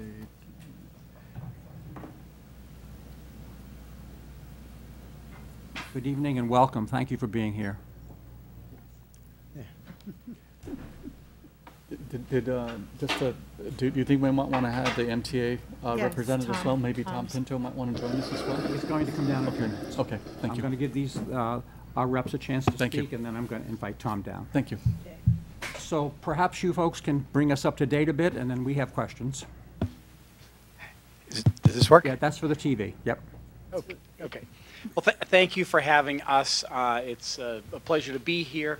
Um, We've had the opportunity kind of, well, at least I have had, where I represent from Falmouth to Pembroke, a lot of school committees are doing this and asking us what is going on because of the fact that there's been a lot of conversation right now about Chapter 70, the Promise Act, and clearly there's a, um, there's a sentiment that they're doing something. Um, just to give you a sense of what I'm seeing, though, is that they are doing something, but the goal is to address the uh, English language learners, the uh, uh, achievement gap, uh, and areas which, just from my experience, and again, here's, here's my challenge, is that um, as a uh, representative of this area, the significant amount of dollars that we're seeing put into uh, the Chapter 70 formula doesn't necessarily move the needle that much here. And it's, and, and again, this is throughout the entire, in- into the entire uh, area. However, in the Lowells, Lawrences, Fall Rivers, New Bedfords, it moves it significantly. Um, That's uh, because of the foundation budget review formula that came out and the recommendations that came from there were really to address those issues. And so, um, I guess what I'm trying to say is that you're seeing a lot of money put into this. The problem is, is that it, it's not proportionate. So what we, we've tried to do, uh, in this delegation, is to try to address the per pupil rate, uh, specifically because we feel like that helps this area more than others. And that's where my focus is, um, just because our, you know, our job is to make sure uh, that you have as much resources as you possibly can get to try to effectuate, you know, a positive education, educational experience here. So, um, and, and a long way around it, I, I say this to prepare you for the fact that I think, I do believe you're going to see education be a huge priority. I do believe you'll see a lot of money going into it. I don't believe it's going to have it move the needle as much in this area because of the way the foundation budget is. I'm sure you all know this, you've, you've, you've studied it. I'm just giving you the perception. I don't see that changing. Everything I've seen, every meeting, I just was, uh, I was just down here where uh, Jason Lewis, the chairman of education, uh, was down on the Cape with Julian Cyr, and they came down. And, you know, all the conversations were around this very topic. Uh, we were there Friday night till like six o'clock at night going over this. But everything I'm hearing is that it is not going to move the needle in our region as much as we would like and, you know, really go after those English language learners and those, uh, who, eh, those in the achievement gap and obviously financially uh, disadvantaged people. So that's kind of my perspective uh, of what I'm hearing. Uh, I want to turn it over to either Matt or Kathy. I, I, ladies before gentlemen, or I'm just probably going to say what Matt and I discussed on the way here. There are five bills that were filed. Um, they did have a hearing on the March 22nd. They're still in committee, so you know I'm hearing the same things that Senator deMacedo was hearing. That's what we're discussing. I have six towns in this area. It's the same situation here, but I'll hand it over to Matt. Yeah, thank you so much for having us here tonight for this. It's really an important discussion, and I think the uh, the good news is is that we're having a discussion. Uh, I think a few years ago there was really no discussion about it, and schools were getting what they were getting, and that's it. But we're hearing it from from everywhere throughout the Commonwealth. Everyone is talking about it. Uh, as Kathy said, there are there are five bills that are uh, that are out there now that have been heard already. Um, as the senator said, nothing's really going to help us at this point but at least it's a it's a it's a starting point. It's a talking point. In the House budget that we just passed a couple of weeks ago, we put an extra 218 million dollars in the budget for education, and it puts the per pupil cost from 20 dollars to 30 dollars at this point. Uh, so we're hoping the Senate will at least do that, so it brings it up a little bit. But I, I don't, and I, I agree with the senator. I don't I don't think we're going to see too much significant things happening in this session. Um, but again, it's being talked about, and I think we'll see uh, some more happening uh, down the road, maybe hopefully by the next session, uh, to help communities like ours, because there was more communities like ours that have issues, and I think Plymouth, uh, the, just the unfunded mandates alone are close to what, 18, 20 million dollars? Um, and that's significant for a community like ours, and, and it's important that we address it, so. Um, but, you know, whatever you all can do to help us as well, we're all in this together, I think really goes a long way. Okay, uh, uh, thank you. We appreciate your opening statements, and we have a lot of topics that we want to touch with you. I want to invite Mr. Pinto down to the table, please. Dr. Maestas, if you want to start, please. Yeah, just, um, I know we've all talked about this, and, and anytime we, we're together, it seems like we, we're always talking about funding. And I think one of the most difficult pieces that we have, I, I've been going around the school district, and, and I've, I've had staff meetings to explain the budget to our, our staff. I've been doing it for the last 11 years, and every year it's something similar as far as what the message that I give our staff is. Uh, you know, this year we, we experienced a, a $3 million budget increase, and $3 million budget increase for us is just same level of service. That means that that is our fixed costs that are just carrying us from one year to the next. So this year is the first year that we were in operating budget, um, not including benefits. We, we hit $100 million. So we were 97 last year, 100, 100 million uh, this year. We'll be 103 million next year, and that's that's without even that's no new programs other than us doing um, program analysis to move staff where openings, you know, like health, we're, we're doing a health model change and uh, we're doing that. And I think one of the hard parts for us, and, and, and you hear it from the community all the time, is whatever we don't get in state aid is going to go right to the tax base. And that's where we start to see those increases. And that's why people are, you know, at us all the time because we're the source of some of those increases. So, uh, and, you know, uh, Friday, I think uh, Matt and I and Vinny were at a um, uh, presentation at South Middle, and I think we all came to the conclusion that if we add programs, it'd be nice if we had some level of money that comes along with those new programs. Because when you take a look at the superintendent's checklist from 11 years ago when I started to today, and take a look at all of the things that have- increased, um, you know, as far as our responsibility, they're, they're pretty heavy. Um, we'll, we do it, and we, we know it needs to be done. The, the high majority of things on that list are good things for us to really have an education. They're monitoring, they're ensuring that kids are taken care of at different levels. We, we really uh, welcome the opportunity to do those things. The problem is, is the general public doesn't really understand that that's caused an increase for, um, it's, it's diminished capacity in some areas uh, because it's the same people doing the same work. Uh, but we've, we never really have received any kind of support to be able to make those things tangible in our district. So um, I am um, uh, concerned about, about, you know, five, six, seven, eight, nine years down the road if this trajectory doesn't shift at some point. Because I envision the day where, um, you know, Plymouth hasn't had, um, you know, these difficult um, meetings, town meetings, like we had when I first came here, where, you know, we, we had um, some difficult struggles between the town and the school department over cutting budgets at percentages, which is something that I really don't want to see happen in Plymouth, but um, unless there's some relief in the future, it's going to make it difficult. So that's that point. And then um, I think the second point is um, the, the mode that we're in in education today is causing us to be extremely creative and think out of the box about how we implement programming and how we change our school system. Every school system in Massachusetts, for that matter, across the country, can be a lot more pro- progressive, and we need to be.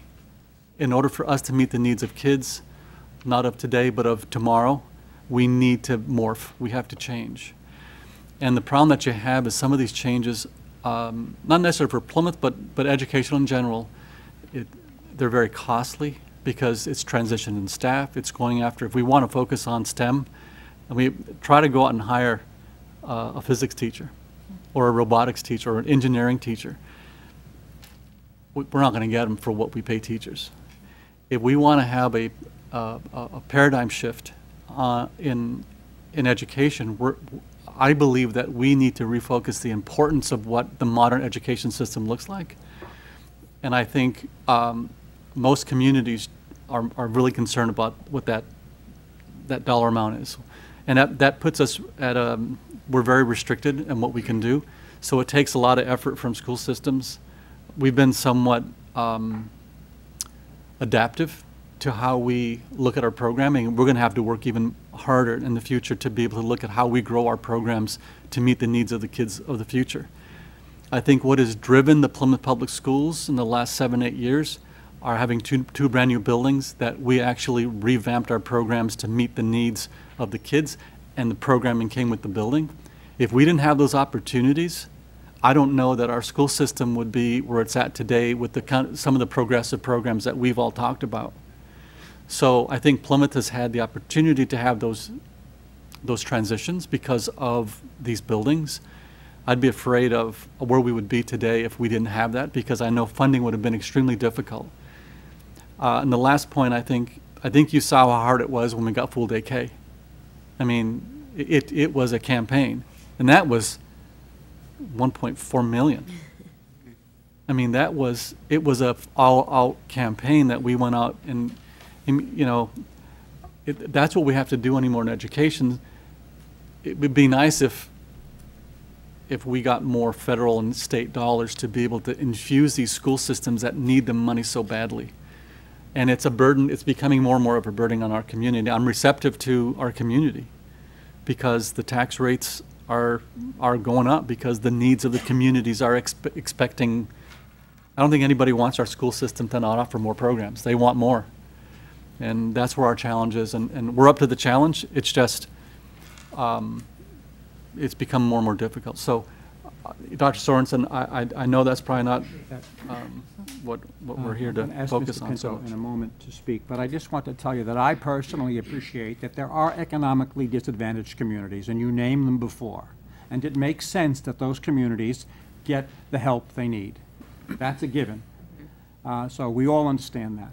But as you're hearing from Dr. Maestas, and you'll hear from us as we go on, uh, our needs are increasing more and more, uh, and those two schools really helped, and we're not, we're we're not ungrateful.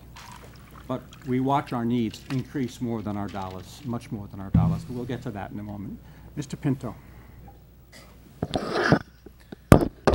Uh, I appreciate you allowing me to come to speak, and you know, I think this is a you know once in a generation opportunity to, to fight for education. Um, you know, as president of the EAPC, you know, my main priorities are obviously you know kind of I said, uh, the United States of Plymouth and Carver. So you know that's what I want to fight for, and uh, but I also want to fight for education in general. Um, I think if we look at the three major bills, the the Promise Act, the uh, the big, the Governor bill, the Tucker bill. I think all the numbers would show that the Promise Act are going to infuse the most dollars into education across the state. Now, again, for our concerns, you know, the per pupil expenditure, um, I know the Promise Act, if fully funded to this rate, would give fifty dollars per student. I believe um, one of our you know South Shore representatives actually pushed uh, for for hundred dollars per student. Yeah. Uh, yes, Cutler. Yeah. So I mean, yes, I I, I think we we are in a uh, unique opportunity right now that um, it's being discussed, like you said, by everybody. I was just at the uh, the state conve- the state annual meeting this weekend, and it, for for two days, and it you know was the main topic. Uh, we're talking about May 16th uh, coming to the State House. Uh, we you guys allowed me to discuss that last week, so I would just ask. I know you know obviously getting these bills through are a time of compromise and whatnot, but I think also it's it's it's our duty as people who support education in communities that it's also our opportunity to uh, to fight for education. So we're not you know we're fighting down the road. So you know I, again reach out and I ask everybody coming up you know these sessions uh, let's in the community watching let's let's let's push forward let's let's fight for for the best bill to move forward so that students across the state can can receive the best education possible. And I, and I know we do a great, unique job here in Plymouth, and you know, as we said, discuss. So, again, I appreciate always the opportunity to talk and come down here. Thank you. And I appreciate, you know, our our elected leaders here. They are, you know, they are a great group. They are very accessible. You know, we, we have. I think I have meetings planned with them coming up down the road. So, so that that it, that's nice that they were able to attend, and I do appreciate that. Uh, I'm going to see what com- committee members now. M- Ms. Hunt? Hi. Um, I know uh, with the Promise Act, I know um, Representative LaNatra and Muratore, you have both signed on to it. I don't, you have not yet. Right, okay. Um, And I know you say that it- a lot of it doesn't uh, involve us, but one of the big parts of it too is special education. And we know that that grossly affects us and it hurt us a lot. And a lot of it has to do with out-of-state, um, or out-of-district placement. We're uh, up over $150,000 a student to do that. Um, Also ELL, our ELL population is growing, and our low-income population is growing too. So I think to say that it really doesn't affect us is inaccurate. Um, And I know that most of the educational associations of all of the bills that are out there right now are supporting the Promise Act. Um, And one of the things is, is, you know, we keep saying it's not going to happen yet, it's not going to happen yet. And, you know, I worked really closely with Senator Ted Kennedy when we were doing the reauthorization of No Child Left Behind, and that went, what, 10, 16 years before something got done? And you're looking at kids and students and their entire school careers that nothing gets done to help them. So I really, really hope that the three of you will do everything that you can to not have that attitude that it's not going to get done and that we're going to do something. And maybe you can tell us what your thoughts of to make it happen instead of, you know, saying it's not going to happen. Well, what are you going to do to help us to make it happen or to help us to make it happen so it does affect Plymouth? So, so I, I, just to make it clear, maybe I mis, maybe you mis, either misunderstood me or I said something. I, am not saying it's not going to happen. What I'm saying is that um, it is going to happen. I believe it's going to happen. I just don't believe it will move the needle in this community as much as one would hope for. So that's why I haven't signed on to the Promise Act because for me, it's more about targeting towards special education for transportation costs. Uh, you know, to, why not? That's where we should be fully funding because it has direct impact in this community. If I, the pure people, I signed on to Josh's $100 per person uh, to this community because that has direct impact here. If you look at, and I'm, and, I, and I'm just came from a Ways and Means hearing in, uh, in Boston, and the conversation was about what we're doing as a Senate in regards to education. We are going to be spending more in education than we've ever spent. However, the reality is, is it is not the, the number is better, but it's, it's not when, as good as when we target fifty dollars, if we go to the fifty dollar per pupil, or we do, uh, fully fund special education, or we fully fund the circuit breaker. Those are the things that have a direct impact. And so that's where my focus has been. And, and to your point, I understand that. But within the budget that's there, my job is to try to make sure that this community gets as much as possible. Mm-hmm. And that's how, and if you look at fr- eh, my, my region from Pembroke all the way down to Falmouth, that's not the case, not even, not even close. So he's talking 200 and some odd million dollars in the, in the house that, that has, it's increased. 200 million dollars. And yet the number to Plymouth is really nowhere near the three, $3 million that you need, right? And the Senate, I will tell you, is going to do even more than that. And it's going to be significant to the numbers that I think, to what you say in the Promise Act. Again, huge dollars, but it's not, the way the formula is broken out, it doesn't have participation. Yes, we have more ELL, so, so in those areas, it's going to be a little bit better. But for me, and as, as far as I'm concerned, I'm going to fight to get this community as much as possible. And by doing that, it's per pupil, it's, it's special ed, it's the circuit breaker. Those are where I focus my efforts. Uh, you know, and so to that extent, I, you know, I, I don't know, but I, I only have what from my experience in, in doing this. It's most of us, this isn't a Republican Democrat thing. This is a regional thing. And our region, through the Chapter 70 formula, the way it's set up, do, does not benefit as much. And, you know, I hear Gary explain, $3 million, that's, that is significant. And, and I promise you, we could put $500 million in this year into education and through the formula, you will not see the money that you're looking for. Mhm. And so that's my perspective on that. Formula's got to change. If, if I may, Mr. Chair, I do want to address what you're saying is, um, you're making it sound like that we're not trying and we don't care, and that's no, not. no, no, no, Let me finish, I- but Yeah. that's what you're making it sound like. I want to make it clear that we're fighting for everything we can. We signed on to the House mm-hmm. bill for hundred dollars per pupil. Mm-hmm. That didn't happen. Yeah. We did another one that Josh did for fifty dollars. That didn't happen. So what I'm saying is, what happened is, we got thirty mm-hmm. per pupil. It's not the 20 that happened last year, but it's the 30 now. So it's a little bit, but as the senator's saying, that's not even a drop in the bucket what's going to be needed in Plymouth. So we'll continue to do that. But remember, we're only two out of 160, and it is rural against urban. Mm-hmm. And that's the bottom line. Yeah. And I, if I, if I came across that way, that's not exactly what I meant, but what I meant is if there isn't the bill out there that you feel fits what you're looking for, then what is going to be done? Like, are you working to create something new? Are you coming up with other, that's more or less what I meant. If there's nothing that you think is going to fit to help us, what are you doing to make sure that we do get the help? That's more or less what I meant. I appreciate that, and I, and I think the, the Promise Act is that we have signed on to is something that, you know, we're trying to push. Um, but will it be the answer to what you need? It won't totally be the answer what you need, which is why I think it's going to need another session or 2 before we really to get to what the senator's saying is about the formula really needs to have to change, Mhm. and there needs to be a will. The good part about it, everyone's talking about it. Mhm. That's The bad part is nobody knows how to really get there, and how do you get that funding for it? Just to go back, the, the biggest gap that you're seeing right now in education is really in the lower performing schools. And so that's where you're seeing all of the focus go. And so that's where the conversation's happening. You will get, I, I'm telling you right now, something is going to happen in regards to a piece of legislation directly towards education, a mix of the three different bills that you're talking about. That's It will happen, guaranteed. I, I, I only, I guess I, I just want to lower the expectations because everyone's talking about because I, I mean as I said every school committee's asked me to come before them um, to have this conversation. And of course when you're when they're talking they're talking significant dollars. It's this is great. This is good for us.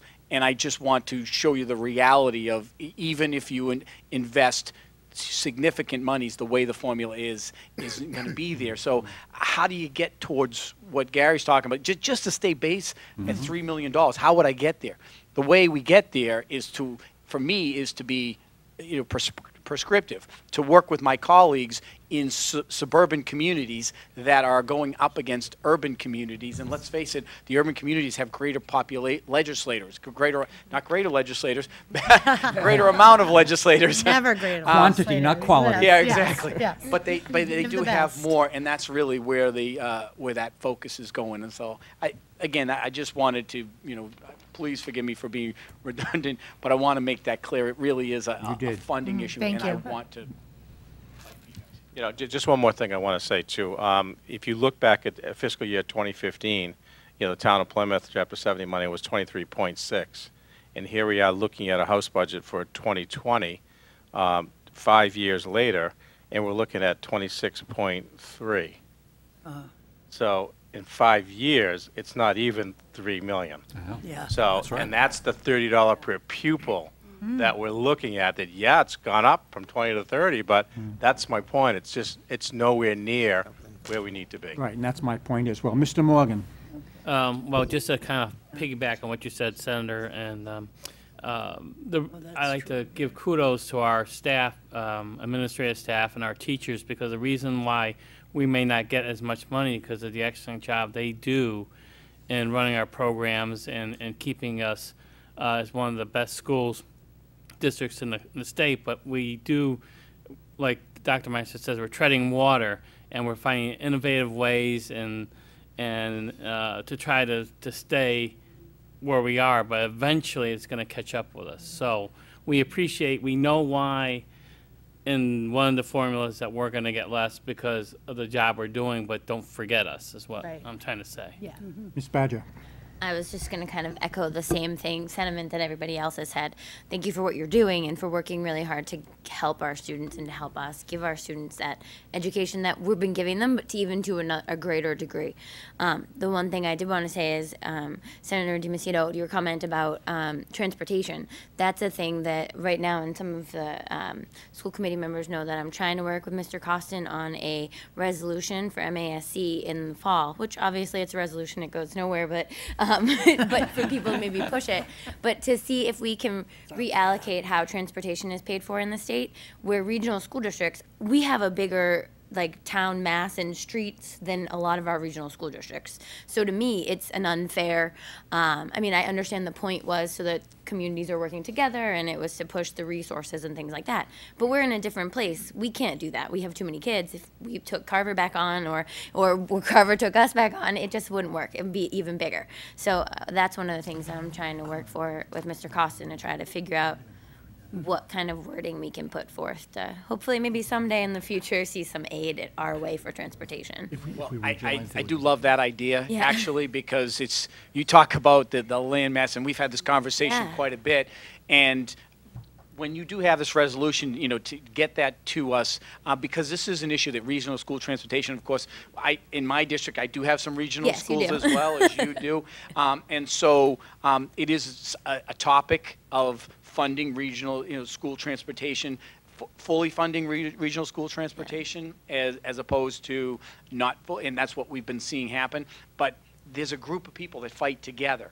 And so if I, we we were able to take Plymouth and put it in there, then I think you'd see some action in there, because there's a lot of my colleagues um, that have regional schools, and, and you see, we, we, we get together, and it's, as I said, it's not about Republicans and Democrats. No. It's about, you know, it's about communities, smaller communities going up against and feeling left behind. And, and I'll tell you, it, things aren't great here in Plymouth. You go to Sandwich, I, you would, I mean, the, what they get in sc- school aid from the, from them, it- it's, it's scary. And of course, one of our former, your, your former colleagues Mhm. is there, Pam Gould, and we were just at this meeting.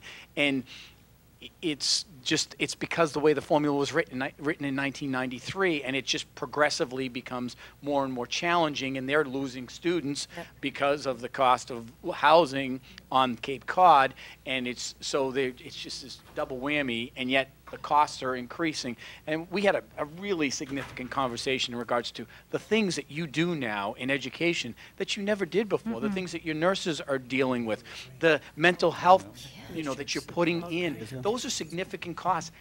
I think that there needs to be a conversation. This was brought up the other day in regards to the fact that um, why can't we get be reimbursed from Mass Health, the school department, from Mass Health, um, in this in this vein because we're providing mental health services right in school that we did did never do before.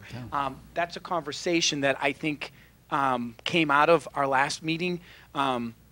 And so that's something that I'm going to be focusing on in regards to there to get you know real dollars to to you that will be there. And I and the beauty of that is it's state participation as, outside of the education budget, and it's federally parti- federal participation as well because it's healthcare services. You're doing healthcare services beyond education. It's not. I can, I can tell And you, we as a need more. recipient of Mass Health benefits, I got a call from Mass Health a year ago telling me they were no longer going to pay for Mass Health, pay for my services to a Mass Health student in the school district.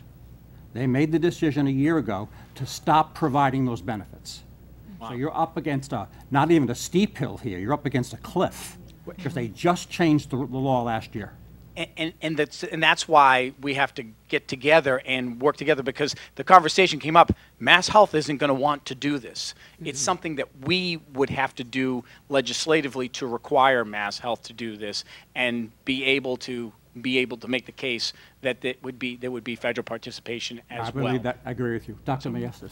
And then the- Great, great, uh, great conversation. Um, One of the things that we struggle with is uh, if, if you were to put a mileage number by every single child that rides a bus and do that comparison from district to district across the Commonwealth, you would see that our kids ride the bus way longer than most kids.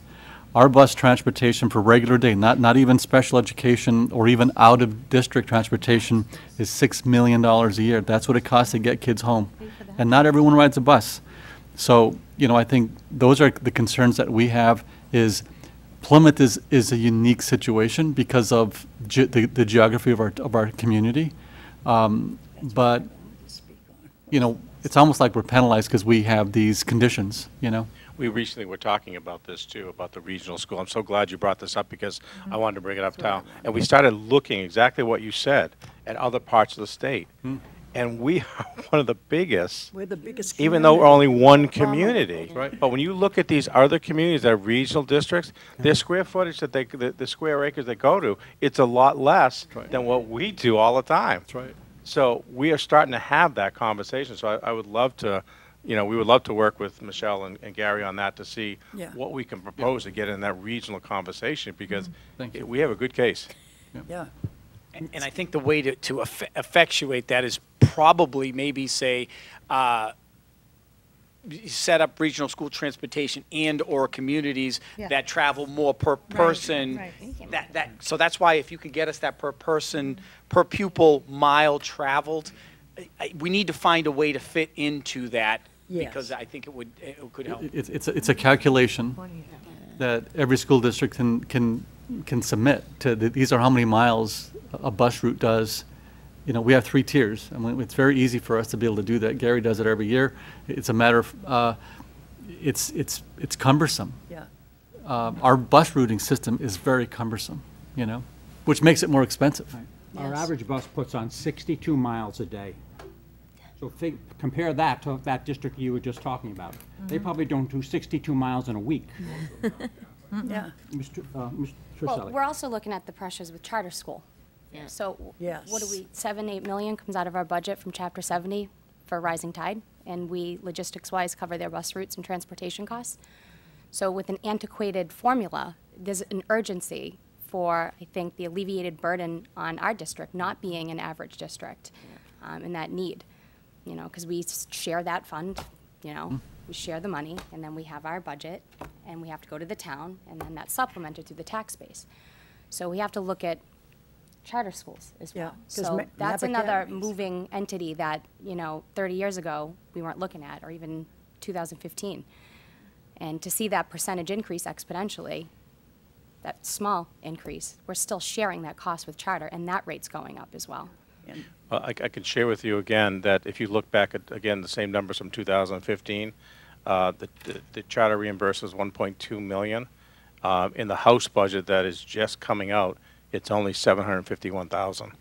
So it's gone down in almost in half. Yeah, and, and it'll be worse, because in two years from now, Map Academy will be not. Phasing up. Yeah, getting their money, yeah, from us too, so it's gonna be worse. and that is, was a big conversation uh, when I was at the, su- it's actually a, a meeting with superintendents of all Cape Cod because Sturgis is now on their second high school, and so they're growing, and so, and they have school choice there. Uh, and so you're seeing, you know, it's, it's, it really complicated there, and a lot of um, a lot of communities are uh, just the, the town of Sandwich, three million dollars. Sandwich is much smaller than here, and they're sending three million dollars uh, Mhm. to Sturgis, and so that that's a conversation that you're seeing a lot of pressure.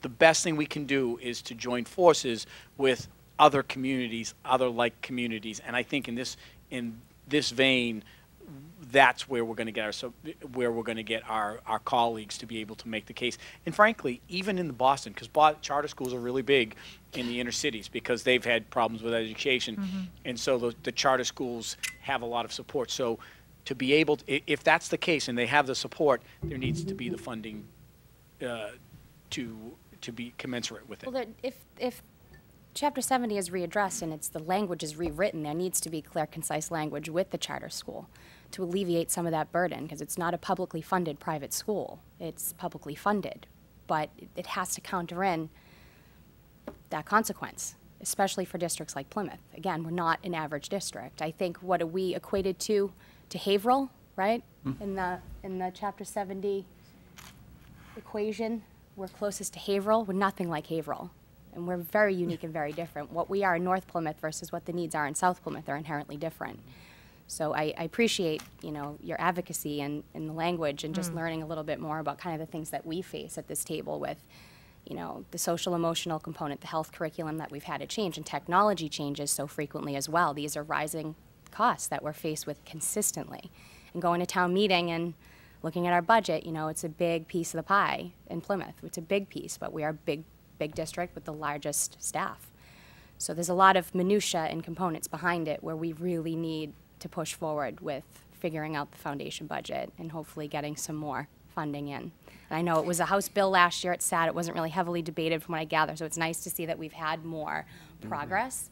It's just let's hope something comes out of it sooner than later. For sure. Yeah. And it's, it's an excellent point. And, and I will tell you, this is important to us. This conversation really helps us because you're on the front lines. This is what you do every day. You're, you're there uh, dealing with these issues, and we are, we, what we then have to do is take that and then try to apply that into the conversation up there. So I want you to know as far, from this delegation, this conversation is really important, and it will help us at least be able to interject these conversations. I've heard it loud and clear in regards to the concerns, in regards to what charter, the, the charter school losses, as far as transportation. All of these things are really important, and I really do think it will help as the argument goes on. So. Ms. Haywood. Oh, I just wanted to talk when you um, mentioned the um, I guess, the Mass Health um, reimbursement. So um, our, um, or is this delegation in agreement to say um, the Medicaid reimbursement um, that's received for services? I know that regional school districts receive, um, it go, it goes back to the school as opposed to local school districts where it goes into the municipal fund and doesn't necessarily go back, or the hundred percent doesn't go back to the school. Yeah, And I know that's something that was brought up as well in terms of um, the budget. How the logistics work, I'm not aware, so if you could, if you could help me in explaining how the logistics work. It was a conversation, um, and the reason I brought it up is because it was, from the so- social and emotional expenditures, um, have increased rather significantly, and a lot of that is not reimbursable. That's, that was the comment, it's coming out of the budget. So, um, it was, I, I'll give you an example. A prisoner goes into Plymouth House of Corrections, they're on Mass Health. As soon as they go into the House of Corrections, they go off of Mass Health until they're released, and then they come back. Now, why should that, why should that be the case? And so there are a group of people that try, we're, tr- we're trying to change that, because just because they're in prison doesn't change the fact that they're getting health care. They're going to get it when they're out. And so I think the same model should, the argument should be the same, is that we're providing health care in a school setting. Right. It should be reimbursed to the school. So outside of your budget, there should be another line item. It would be mm, possibly through Mass Health. I do believe that there's, you know, because it's coming there, that then this, it's matching dollars. Uh, you know, so let's say we put another fifty million dollars in through Mass, he- uh, through Mass Health. Half of that, to twenty-five million, would come from the federal government. And it's fair. It's a fairness issue, I think. It's, if you're providing mental health services, those are healthcare costs. Mm-hmm. Uh, you know, So that's, so, it- so if you could get me the details on how it works between a local community As opposed to and, and regional. as opposed to regional, that I'm not aware of. Oh, Well, let me give you the details that I know specifically. So what I would get phone calls from districts in the area, not just Plymouth, for students who are on Mass Health who need a risk assessment because their behavior's been out of control, or they need an evaluation, a neuropsych evaluation. If they were Mass Health, for the last decade, Mass Health paid for those evaluations. Specifically last year, they called me personally and said, we're not paying for them anymore. So I do want you to, that's the specific of it. And it's the same thing with counseling services. It- And it's OT, PT, it's, it's, it's actually um, combined. So my, my understanding, and um, I mean, Dr. I can Missis add- could I um, uh, speak to Yeah. it, but is that um, just on a regional school basis, is that they get that, th- that reimbursement comes back to the regional school district as opposed to a local, it goes into the municipal fund for the town goes to and the or town city, municipal and the- fund, not And the they schools. allocate. So we don't, you know what I Don't mean? We don't get it. receive That's not those their issue. Dr. monies Mathis? tonight. Yeah, so, so this is a policy issue, and I think it's, it's pretty well known in um, education um, that you, we have the opportunity to do um, uh, billing uh, for um, certain features, you know, OTPT. Uh, We actually do a really good job of uh, documenting those segments of time that our counselors work with children for reimbursable services. Uh, So um, that Medicaid reimbursement, we submit the hours. We actually have staff that actually collect all of that. So we do all the work. We do the counseling, we do the work. um, That then comes into the town as revenue. So the town takes it in and buys down the debt of the town opposed to that going to impact the school department. So one of the things that we've done, we work with uh, UMass um, Amherst uh, with with uh, billing assistance to make sure that we maximize every bit of billing that we possibly can.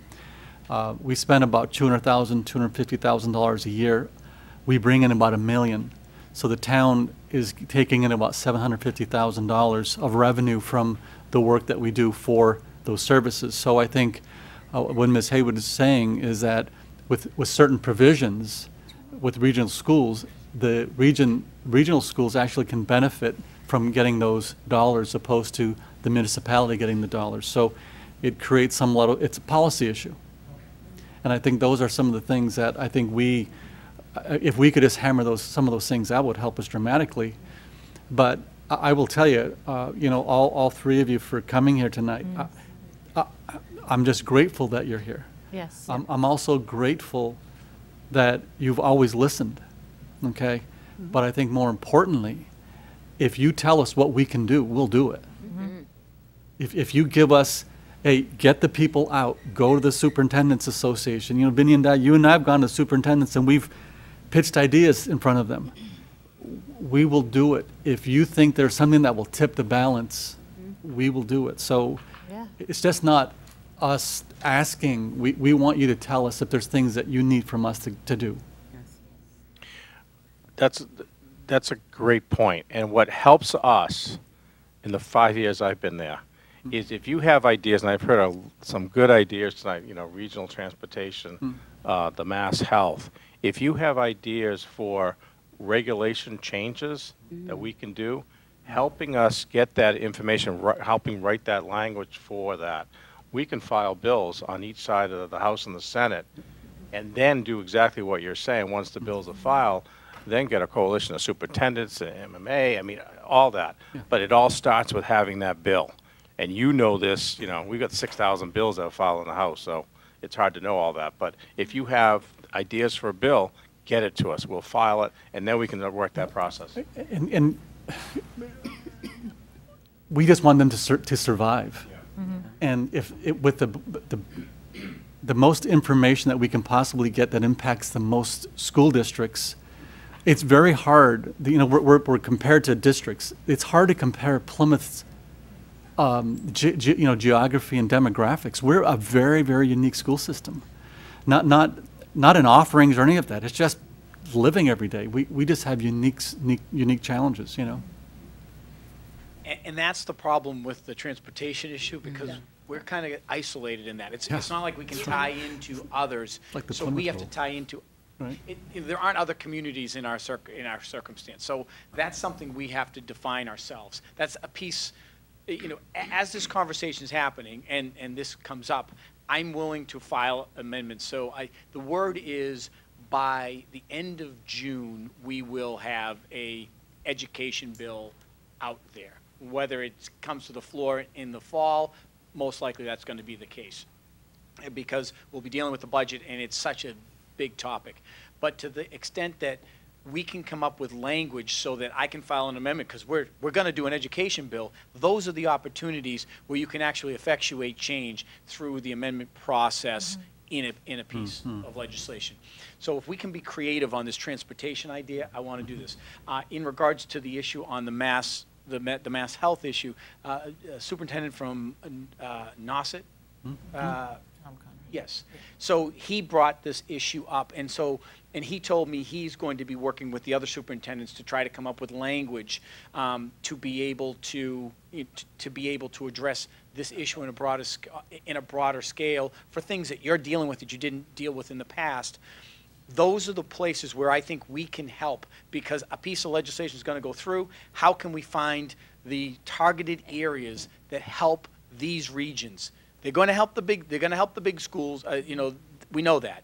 How do we get them to help our schools? Exactly. And that's what I'm focused on. So you can help us to do that. You seem to understand this, the other issue better than I do. So if you can get us the information, then we'll file the amendment.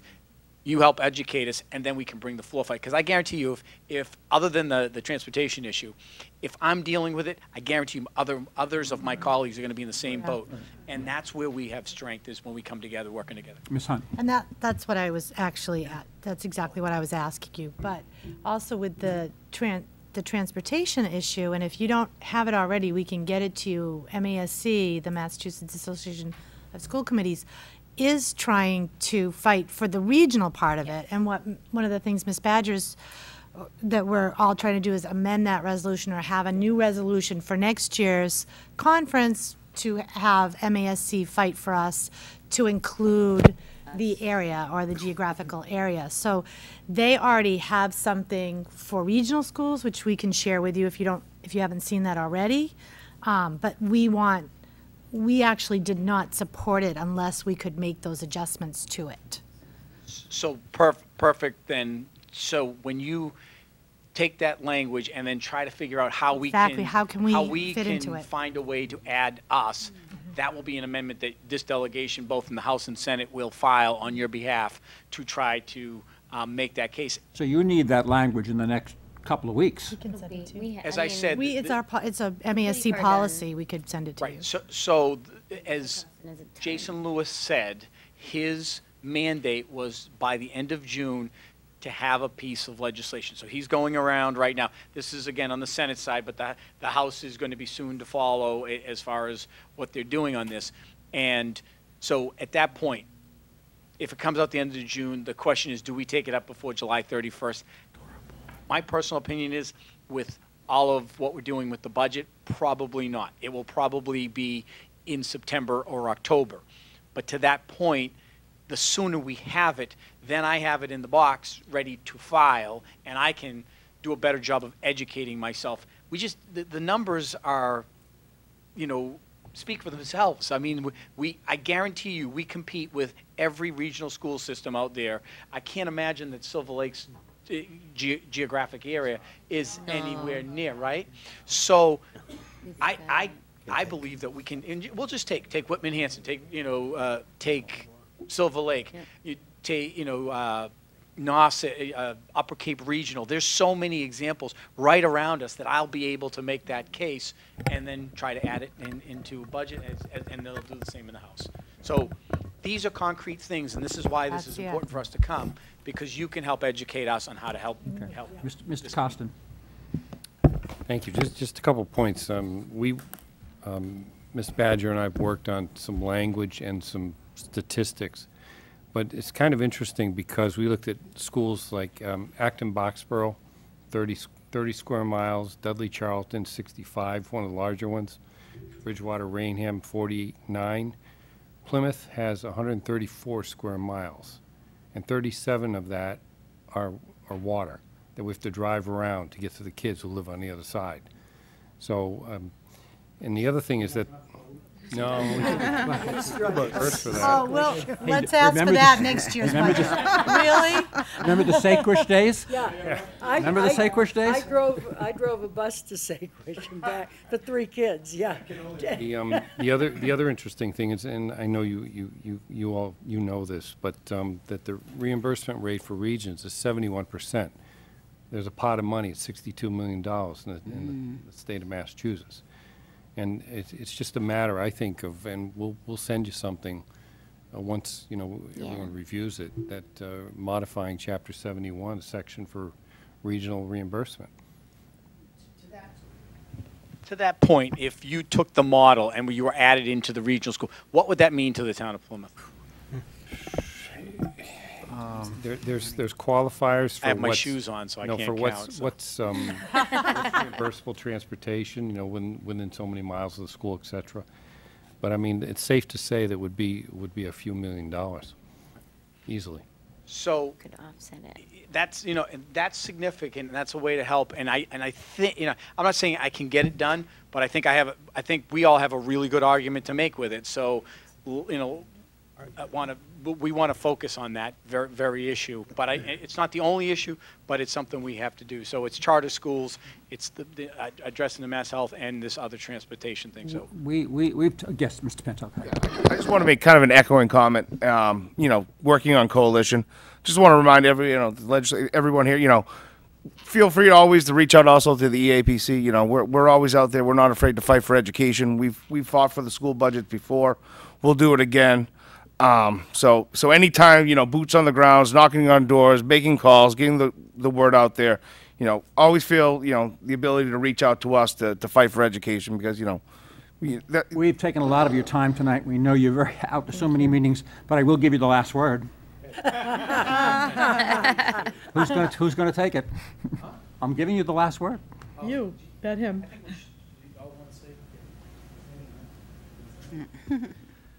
He'd take the- This is, first of all, thank you so much for bringing us here tonight. I- This is long overdue. It's- It's, it's really important that we do this. I think we should do it a little bit more often as well. Uh, That's obviously up to you, but we'll be available anytime you need us. You are on TV, right? We're live on TV, that's Are we gonna get a picture? Is there a photo? Wait. Don't worry, Kathy, they can't see There's your a baby shoes, somewhere you can hold. But, but no, seriously, this is, this is very important. This is helpful stuff. And this is how we get things done, by getting information from you to get it into uh, the budget. And Tom, great point, thank you so much, and, and we will take you up on that as well. But all of us working together, because we are in a unique situation, we just need to make the case together. So thank you again for having us here. And, and to this point, I, I really do, I mean, appreciate this, this school committee, this school department. You know, this really is an amazing school department that we have here. It's something I'm very proud of that we've seen. We've seen, you know, over a period of time, we've seen these two amazing schools uh, go there. There's such, I, I have not seen in, I've been around for a while, you know, 21 years, I have not seen such collaboration and cooperation from the town and the school system. It, it, when I first started, it was a battle between them. But I think there, yeah, I mean, you know, we remember. And, Yes, and I remember. That's why I To see got what we've seen now, it's, it's, I believe it's because this community has a great deal of respect for the product that is coming out educationally. And yes, it's expensive. We, $100 million is a lot of money. eh, But the reality is, is that it is, the product that is coming out is, is really impressive. And I know a lot of people take a lot of pride in our school system, and you are all on, on that front line and working day in, day, day in and day out. And, you know, to, to Gary, as, as you all know, I mean, uh, someone I admire greatly and has uh, kind of been at the, the head of this, this, uh, this school system. Uh, you've done a phenomenal job. I know the town is very proud of the work that you've done and you, you and your team. And, uh, and I, you know, I can promise you anything that I can do to try to assist and help uh, in any way, I promise you I'll do that. So thank you for giving us this Thank you opportunity to for a being, words. being here this evening. We're, we're going to take a little break at this point. Thank you very much. We'll be back in 15 minutes. This meeting back into order. Thank you very much. That was a really good hearing we had. Um, We now have to do uh, a public hearing on school choice, so at this moment, I'm going to declare the opening of a public, no, let me hear the report on, on your recommendation first. Yes, um, according to Mass General Law, Chapter 76, Section 12B, um, the school committee, uh, every school committee committee in the Commonwealth by June uh, must take up on their agenda uh, the option for um, every school district to either participate or not participate in school choice. Uh, The Plymouth Public Schools, uh, since this uh, Mass General Law was in in the written um, docket for uh, school districts, we have never participated in school choice. Um, Years ago, we were overcrowded. We decided that wasn't a good option for us. As we move forward, our population has dropped. Uh, We've noticed that during our population drop, we've added a lot of, um, a variety of programs that have really helped to meet the needs of our special education population. And we've also noticed that our, our classroom availability and classroom sizes are, are somewhat stable in the sense that we have manageable classroom size. Um, in my opinion, if we opened up school choice for the Plymouth Public Schools, we would see a compromise in that. And for that um, position, Dr. Sorensen and the school committee uh, here tonight, I, I do not recommend that the Plymouth Public Schools uh, open up uh, enrollment to, to school choice for this district. Okay. Do committee members have a question about the superintendent's recommendation? Okay, so at this moment, I'm going to open up a public hearing, and I will announce that the Town of Plymouth School Department has made a recommendation that we will not participate in school choice. Is there anybody attending tonight's meeting who would like to speak to the school committee during this public hearing? Seeing no hands, I'm going to declare the public hearing closed. Dr. Maestas. Dr. Sorensen, and I will inform the Department of Education that the school committee has voted to not support Well, we support haven't school voted choice. yet, but we will. Okay. um, Okay, go ahead. Uh, I will take a motion. I move. Ms. Ms. uh, Burgess moves the recommendation of administration, of the s- that is to not participate in the school choice program. Is there a second? Second, Ms. Badger. Is there a question on that? Okay, we will now vote on that. Not there. Gives me something to do. Whoops, I just voted incorrectly, guys. Can we Mine's vote? not coming up. It's Can we all vote? coming up. coming up? Yes, my, my system's The down. internet crashed while we were on break, so. Okay. if Oh, we okay, need so we'll roll take the call, vote let me know. orally then. Yeah, 'cause All I those in just favor of the motion? And that is unanimous. Thank you very much. Go ahead. Sorry. Um, Dr. Campbell's controlling the meeting tonight, so. Like, I don't see it. Oh, Like, I don't see it, and I, I didn't, I didn't think it was an action item, because I'm not in control, um, which is a good thing. So you will so notify. So I will notify the Department of Education that the, the s- uh, the Plymouth School Committee has voted uh, to not support school Okay, choice for thank the you very Plymouth much. Public Schools. Uh, The next item on our agenda is to do our beginning prelim- preliminary work on the superintendent's evaluation. Dr. Maestas. Yes, tonight, um, in your school committee agenda, you have the Massachusetts Department of uh, Secondary and Elementary Education Evaluation Form for the 2019 Superintendent's Evaluation. It's a form that you've all seen before. Uh, Keep in mind that uh, this form is uh, to be completed by the committee. Uh, Our next school committee, I will report on, uh, have the final report on my goals. This is a little bit later than, about, well, actually, it's not really that much later, because typically, we, um, Typically, we have to rush it through. we have to rush it through because the potential school committee change. Uh, There won't be a change this year, so with that aspect, we have a little bit more time, which actually gives you more uh, availability for time for input as the, the, the district moves forward. Um, But I will have a report for you next meeting on uh, the status of my goals, which is a small part of the evaluation. Take a look at the evaluation and the components of it. As you see, there are a lot of pieces to it, and the form is in the agenda tonight for your review and for your input uh, to the chair uh, when the chair is um, able to compile it uh, based on your input. So the items are there for your input. Uh, My suggestion is that you uh, um, review this and, and start collecting information so that you can have that. Any questions? Ms. Badger? So you, at the next meeting, we'll get the information that you're providing as backup? Is that what you just? I will- I will- I will do- I yeah. just was making sure I understood. Okay. I'll have a, a report for you on my goals, but what I'll also do is uh, put together, like I typically do every year, a list of all of the events and uh, benchmark opportunities that have happened throughout the year uh, relative to some of the, um, of the evaluation um, benchmarks. Okay? Thank you. Okay. Any other questions? No. Okay, we can move along then. Oh, Ms. Badger has a question. Ms. Badger? And so if we're pushing it out, then it would be in June that we will, the June, Yeah. first June meeting? I'm just, you know, I just like the Yeah, schedule. I- well, my plan, my plan was after we Yeah. hear uh, Dr. Maestas's goals at the next meeting, then I will uh, make a recommendation as to when When it's these all due to you. Okay. documents need to be in. Okay. Planner, you know. Okay. Because we had no decision. Yeah, right. right. We- You don't wanna have a miss that bit more meeting, time. that's why. A little more time, yep. Okay, job descriptions. Um, yes, we have four job descriptions tonight. This is the um, remaining clerical positions in the district. Um, so the first is the special education office secretary, which is a 200-day position. Um, this is the individual who works very closely with Mrs. DeRocha, the assistant director of special education, um, on all aspects of the out-of-district process. There's a lot of different pieces, especially when students graduate and we merge transcripts and things of that nature. And actually, speaking of the Medicaid process, that's another big piece with third-party billing and things of that nature. So um, this individual does work really the school year with additional days on either end of the summer and before school starts. So that's a special education office, 200-day secretary. Any questions on this one? Ms. Badger? I just have, I think it's across the, the, this, maybe there, maybe it's in another one of these job descriptions or two, and it just says process rec- recognition and all, and for new hires, and is that, do they, does that just go through those secretaries and then into HR? Correct. They And do. then- so um, they just they funnel it up do and some down? paperwork that. Okay. They do the interview process, and then it comes over to HR to process the official hire and, Okay. and the contracts and things are in my office. But the initial screenings and things of that them. nature are there. Okay, Yep. thank you. Yep. Okay, so we'll take a motion on this one.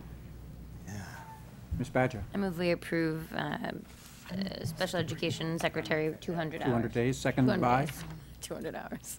Seconded by, mm, it won't come up. You're not there either, okay. It won't come up. Is there a second? Ms. Bad- Ms. Burgess is a second. Are there questions? Okay, all those in favor? That is unanimous. Now we're, I'm online. Are we back? So good at that, Chris. Do I vote? We, do you have, can I you? just did, You but I, set? Oh, I I don't, can't. I didn't vote.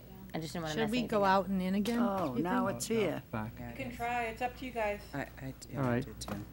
It's back up. Try Just- it. Back up, this is the 200, this is the first one. Yeah, this is the first one. This Can is you the vote? Did you first vote? one. Mm, I Just can't. click join the I just signed meeting. out, but I don't know why I it's do- not coming back It'll up. update you. If you could- Sync does it too, only, only Kim's. Where's working on No, Kim now? mine's, I just signed out. Oh. Mm. Oh. oh. Oh. Oh. Getting like town meeting here. I know. Now, I'm not even piece getting on in that. Oh, no. All right. Oh, Everybody voted in profile favor. error Can we go on to the occurred. next one, please? Um, the next one is a very similar position. It's also in the special education office, but it's really the individual who works directly with Stacy Rogers. Um, and there's many facets to this job from um, when students graduate and the transitioning of the IEP into an electronic file. There's so many different layers. Um, but this is intentionally a 220 day position, but they're very similar in nature because of the overlap within the department. So All right. Um, I don't, uh, we're gonna have to vote by hand because we're stuck with that Yeah, we're screen. stuck, That's still- Because Kim never got to vote. I'm not even getting in, yeah. So, Don't um, is there, a- is there a, s- is there a motion to accept the two hundred and twenty day job description as presented? Mr. Selly moves that, seconded by Ms. Burgess. Is there a question on the two hundred and twenty day job description? Okay, we'll take the vote by show of hands. All those in favor? That's unanimous. Thank you. And the next one is the coordinator secretary for. Yes, and this we merged. We had prior to very outdated job descriptions for the academic coordinator, secretary, and then the um, visual performing arts. So we merged them all into a coordinator secretary. So there's, because they don't each have one personal, there's a lot of sharing within the department. So um, this is brand new as a title in this area, removing the the different specific layers, kind of like we did with the academic coach. So, um, and this is working within their offices. A lot of the, from the science fair to the National History Day to um, bringing candidates in, book representatives, a lot of different factors. So, that is Okay, it. any questions on it? I'll take a motion. Ms. Burgess moves, the- moves the recommendation on this one, seconded by Mrs. Badger. Uh, Ms. Badger, is there any questions on this? Okay, we can vote this one, I believe. Electronic, I think. I can't. I can't. I- Nope. I'm in, but I Well, can't there you go. vote. I'm in, but It'll come up now. All right, it's not coming up, so we'll take it by show of hands. No, All those mine in came favor? up. Oh, Mine mine came came- up. Okay, That's unanimous, thank you. yours came up too. Yes. In the final one, the technology repair and services, this is a position that has been merged into um, one role, um, working very closely with Alan McLean's office and the inventorying equipment, as well as the SchoolDude database system and many different aspects of our technology. And also, a big new part of this job is the distribution of technology for the MCAS testing. So the tracking of that and ensuring that the buildings have their, what their needs are for the technicians who work on that. So um, this individual is also a 220-day employee. So they tag every piece of equipment. There's a, there's a lot of layers to it as well. Okay, are there any questions? We'll take a motion. Mr. I'll make a Morgan, motion, to approve the job description. thank you. Seconded by? Ms. Haywood? Question on the motion? Okay, by show of hands, all those in favor? That's unanimous, thank you very much. Yep, and I think just to close on those, we have, it's been three years, but we've completed, um, Tom and I are gonna miss each other. Um, we've completed all the EAPC job descriptions, paras, teachers, counselors, psychs, uh, clerical, and we're in the process, just so you folks know, of moving outdated ones that haven't been updated. They're on electronic school board, so they're all on the HR website. So we're hoping to start with Cobra in the fall. Um, we're going to take the summer off of job descriptions um, and focus on hiring, and then we'll start with the Cobra ones, which are very outdated as well. But we do have some that will just be moved over that are in the 2000s, like the superintendent's job description. So we're that's our next tier to it. But I do want to thank the EAPC because they've sat every Tuesday for an hour and a half for three years. So they've Huge been very undertaking. helpful. So it was great. Okay, thank you. Ms. Badger? Is there like, are we putting something into place, and it sounds like we are, so that we don't ever have a 1991? Yes, like yeah. I got to get them all. Yeah, description we have Cobra are 2019? mainly Yeah. 1992. So I graduated from college in 1994. So it was, I we're was gonna in get elementary there. school. Come on, So now, we're gonna really? try. Yeah, we have a system, and I think we've um, we've been very collaborative about when a new some new positions crop up. Event liaisons have cropped up. Um, That's all right. different things. We're going to try to be ahead of the Yeah, and curve just, with like, put that. them on, like, a three-year Yeah, we have a rotation good document and a lot of pieces, but I like projects, so it's good. Thank you. Do you have everything printed out? For what? I just wonder if we get to the warrant and I can't pull it up. Okay, um, reports and proposals from committee members. Ms. Hunt?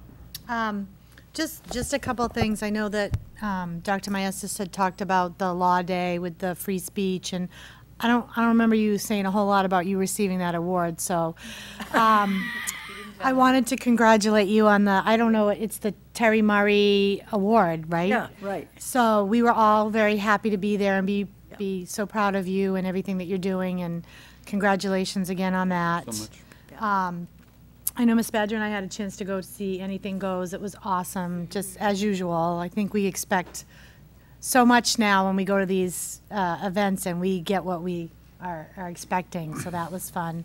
Um, I had a chance to do the, um, the senior showcase for, for North, and that was amazing. And um, Miss Sylvia did a, um, Silva did a great job. Um, She kind of, uh, what I liked at the very end is she kind of pulled all the kids around her and told her, you know, how amazing they are and that this is, you know, the, like the last day of their, their last big event of their high, s- high school in these uh, areas and to go out and do great things. And it was, it was really awesome to see how in just that short a time that she's been here, how connected she is now in Plymouth and with the kids and how she really takes ownership for, for their success, which Great. was really, you know, heartwarming to say. And then um, the last thing is, is this week is Teacher Appreciation Week. That's right. I know that some schools might celebrate at different times due to schedules, but this is the official week, and um, I just wanted to let all the teachers out there know how much I appreciate them, and I'm sure we all do. Um, I, I know every year, since my kids were little, I, I send a personal email to every teacher. It's bittersweet for me. This is my last one. I'm gonna cry. But, um, you know, I'll be, do- that's what I'll be doing tonight. But, um, I just wanted to let everybody know that, you know, that we really appreciate it and we do what they do, we do what we do for them and the students. And, you know, it's, it's sad that we've only got one week out of the year that we really go out of our way to, to thank them. So I just wanted to publicly announce that. Ms. Haywood? Um, um, and also um, appreciating the teachers. Um, I also want to. This is also National Nurses Week as well, so I want to um, send my appreciation to those those nurses that work for our district, Hmm. and um, Yes. And the yes, teachers. and the teachers. No, they are teachers. Uh, yes, Nurses. yeah, nurse They- they educators. are Yep. nurse So that work for the district um, and everything they do, um, i- even in this um, environment of mounting um, of responsibilities. So thank you. Um, did you want us to do our conference? Oh, gosh, that was today? supposed to be on tonight's agenda. It's- I'm gonna have to move it. Okay, Yeah, so we'll that do is it. totally fine. Um, I just also wanted to mention that uh, uh, Ms. Haywood and I went to the South Biomedical Senior Night, Mm-hmm. and it was so nice to have seen the program in the beginning and to see these right. students Evolve. now, like um, what they've accomplished and what they're interested in doing, and um, th- it, it was just it was really awesome to see it from for these first kids who got the opportunity to go through the program. So That's real good. it was awesome. Ms. Burgess? Yeah, I said, I went to Law Day as well, and uh, North, I went to the, um, well, it was both schools, a a cappella time, and um, also I went to the uh, North Senior uh, Showcase, the Senior Projects Showcase. So, We've got a lot coming up. Lot- lot gonna be a coming up. We'll be running. On and proposals, uh, some of us were able to go to the selectmen's meeting a couple of weeks ago Oh, on that's Tuesday right. night. I forgot that. Did you speak up to Yeah, that? uh, yeah. No, I didn't speak up to it, but I went. Yes, which was a nice, and there was a follow-up information that you sent us. Yes, yeah, I sent a follow-up information did, that, yeah. that JC actually um, Yes. broke her own school record Yeah, uh, that's in the cool. 100 uh, hurdles, which she's a fantastic athlete, and um, I imagine she- her season's not over yet for outdoor track, so sh- her national championship was indoor track. Yeah. So we'll see how things work out for her moving forward. And I was able to attend uh, uh, at the No Place for Hate uh, concert on Saturday night, which was a really super nice play, super nice group to be with. I thought that was really That's great. nice. Thank you for coming. Okay, anything else from reports and proposals? All right, moving along then, is there a PYDC. report from PYDC this Yeah. evening? I didn't bring a written report, but I know, I know what happened really. The season's really gearing up for the um, uh, stickers on the uh, coolers at the We have, um, liquor stores. Right, the We stickers. have 20 now, Language on the with all hard town copy? now, 20 liquor stores in Plymouth. Um, I went to two of them, and both of them are going to take it, so that's a good thing. And um, uh, so many things are going on now. With the, well, they had all the um, posters, the pictures, what are they called? Uh, Okay, photo voice. Photo, yeah, photo voice, because they were, I, I tried to get to that, but I couldn't get to that one. At um, PCIS, they had, yeah, the thing that evening, Monday evening. And, um, but everything's coming along. There's, uh, this weekend, uh, this Wednesday, um, there's uh, Taylor's Message, it's at the Spire. And um, that's from six to seven-thirty. And uh, hopefully, a lot of parents and, and some students go to that. It's, uh, it's free, so, um, and it should be able to get some parking downtown on Wednesday, hopefully. Um, okay. I guess that's where I'm gonna leave it right now, unless you have something to add. Do you have anything? No, I think you've mentioned the, the, the major events. Things from that are right meeting. now, Yes. yeah. Thank you, Angie. Okay, um, on to the building committee. Was there a meeting? I, I couldn't go. Morgan? Um, no, their next meeting is actually this Thursday. Yeah, it's this Thursday. Personnel. Yes, um, we have three classified the language on the appointments warrant? to report, five short-term maternity leaves, and four resignations. Okay, thank you for that report. Any questions on the personnel report? No, you can't either. Here, Do you have the warrant? I got it, here. Uh, we're- We have been able to locate the language on the warrant on one of the screens, so we can now do the warrant. Okay. Whereas school committee members have been provided with a copy of the cost center transfer and transaction summary report and the warrant for review, I move that the Plymouth School Committee accept and approve the re- report and accounts payable warrant number S 50919 dated Thursday. Oh, sorry, dated, yeah, what's Thursday's date? Thursday. May 9th, 2019, in the amount, Didn't cut it off. in the amount of zero dollars as presented. Oh, my gosh, it's all zeros. You have it in there. You want to read it? It's in this um, thing. You want me to The amount, the like amount is 300. three hundred and sixty-five thousand, four hundred and forty-six dollars and three cents. As presented. As presented. That's- Thank you. Zeros on there. Thank you for those No date. two people who made that motion. Is there a second to that motion? Ms. Badger is the second. Are there any questions? Okay, so uh, we have to take the vote by show of hands. All those in favor? That is unanimous. I did. What was the second? Ms. Haywood? Oh, uh, Ms. Badger, okay. Badger. Ms. Badger was the second. Need to look at this. That's funny. Uh, We have some uh, obsolete materials. Yes, tonight we have some textbooks from Plymouth Community Intermediate School Science Program, uh, 36 of them, and uh, we recommend that those um, uh, become a discard item for the school committee tonight. You've heard the recommendation? Anybody want to move it? Ms. Badger? I'll move that we dispose of the science textbooks Okay. from 1991. And that was seconded by Ms. Haywood. Is there a question on those? Okay. By show of hands, all those in favor of that motion? These things. That's my question. I- Lee, was that a vote? In favor? Okay, thank you. We hide. Um, is there any other business to come before the oh, committee this evening? Seeing no hands? We're back. Okay, we stand adjourned. Thank you very much.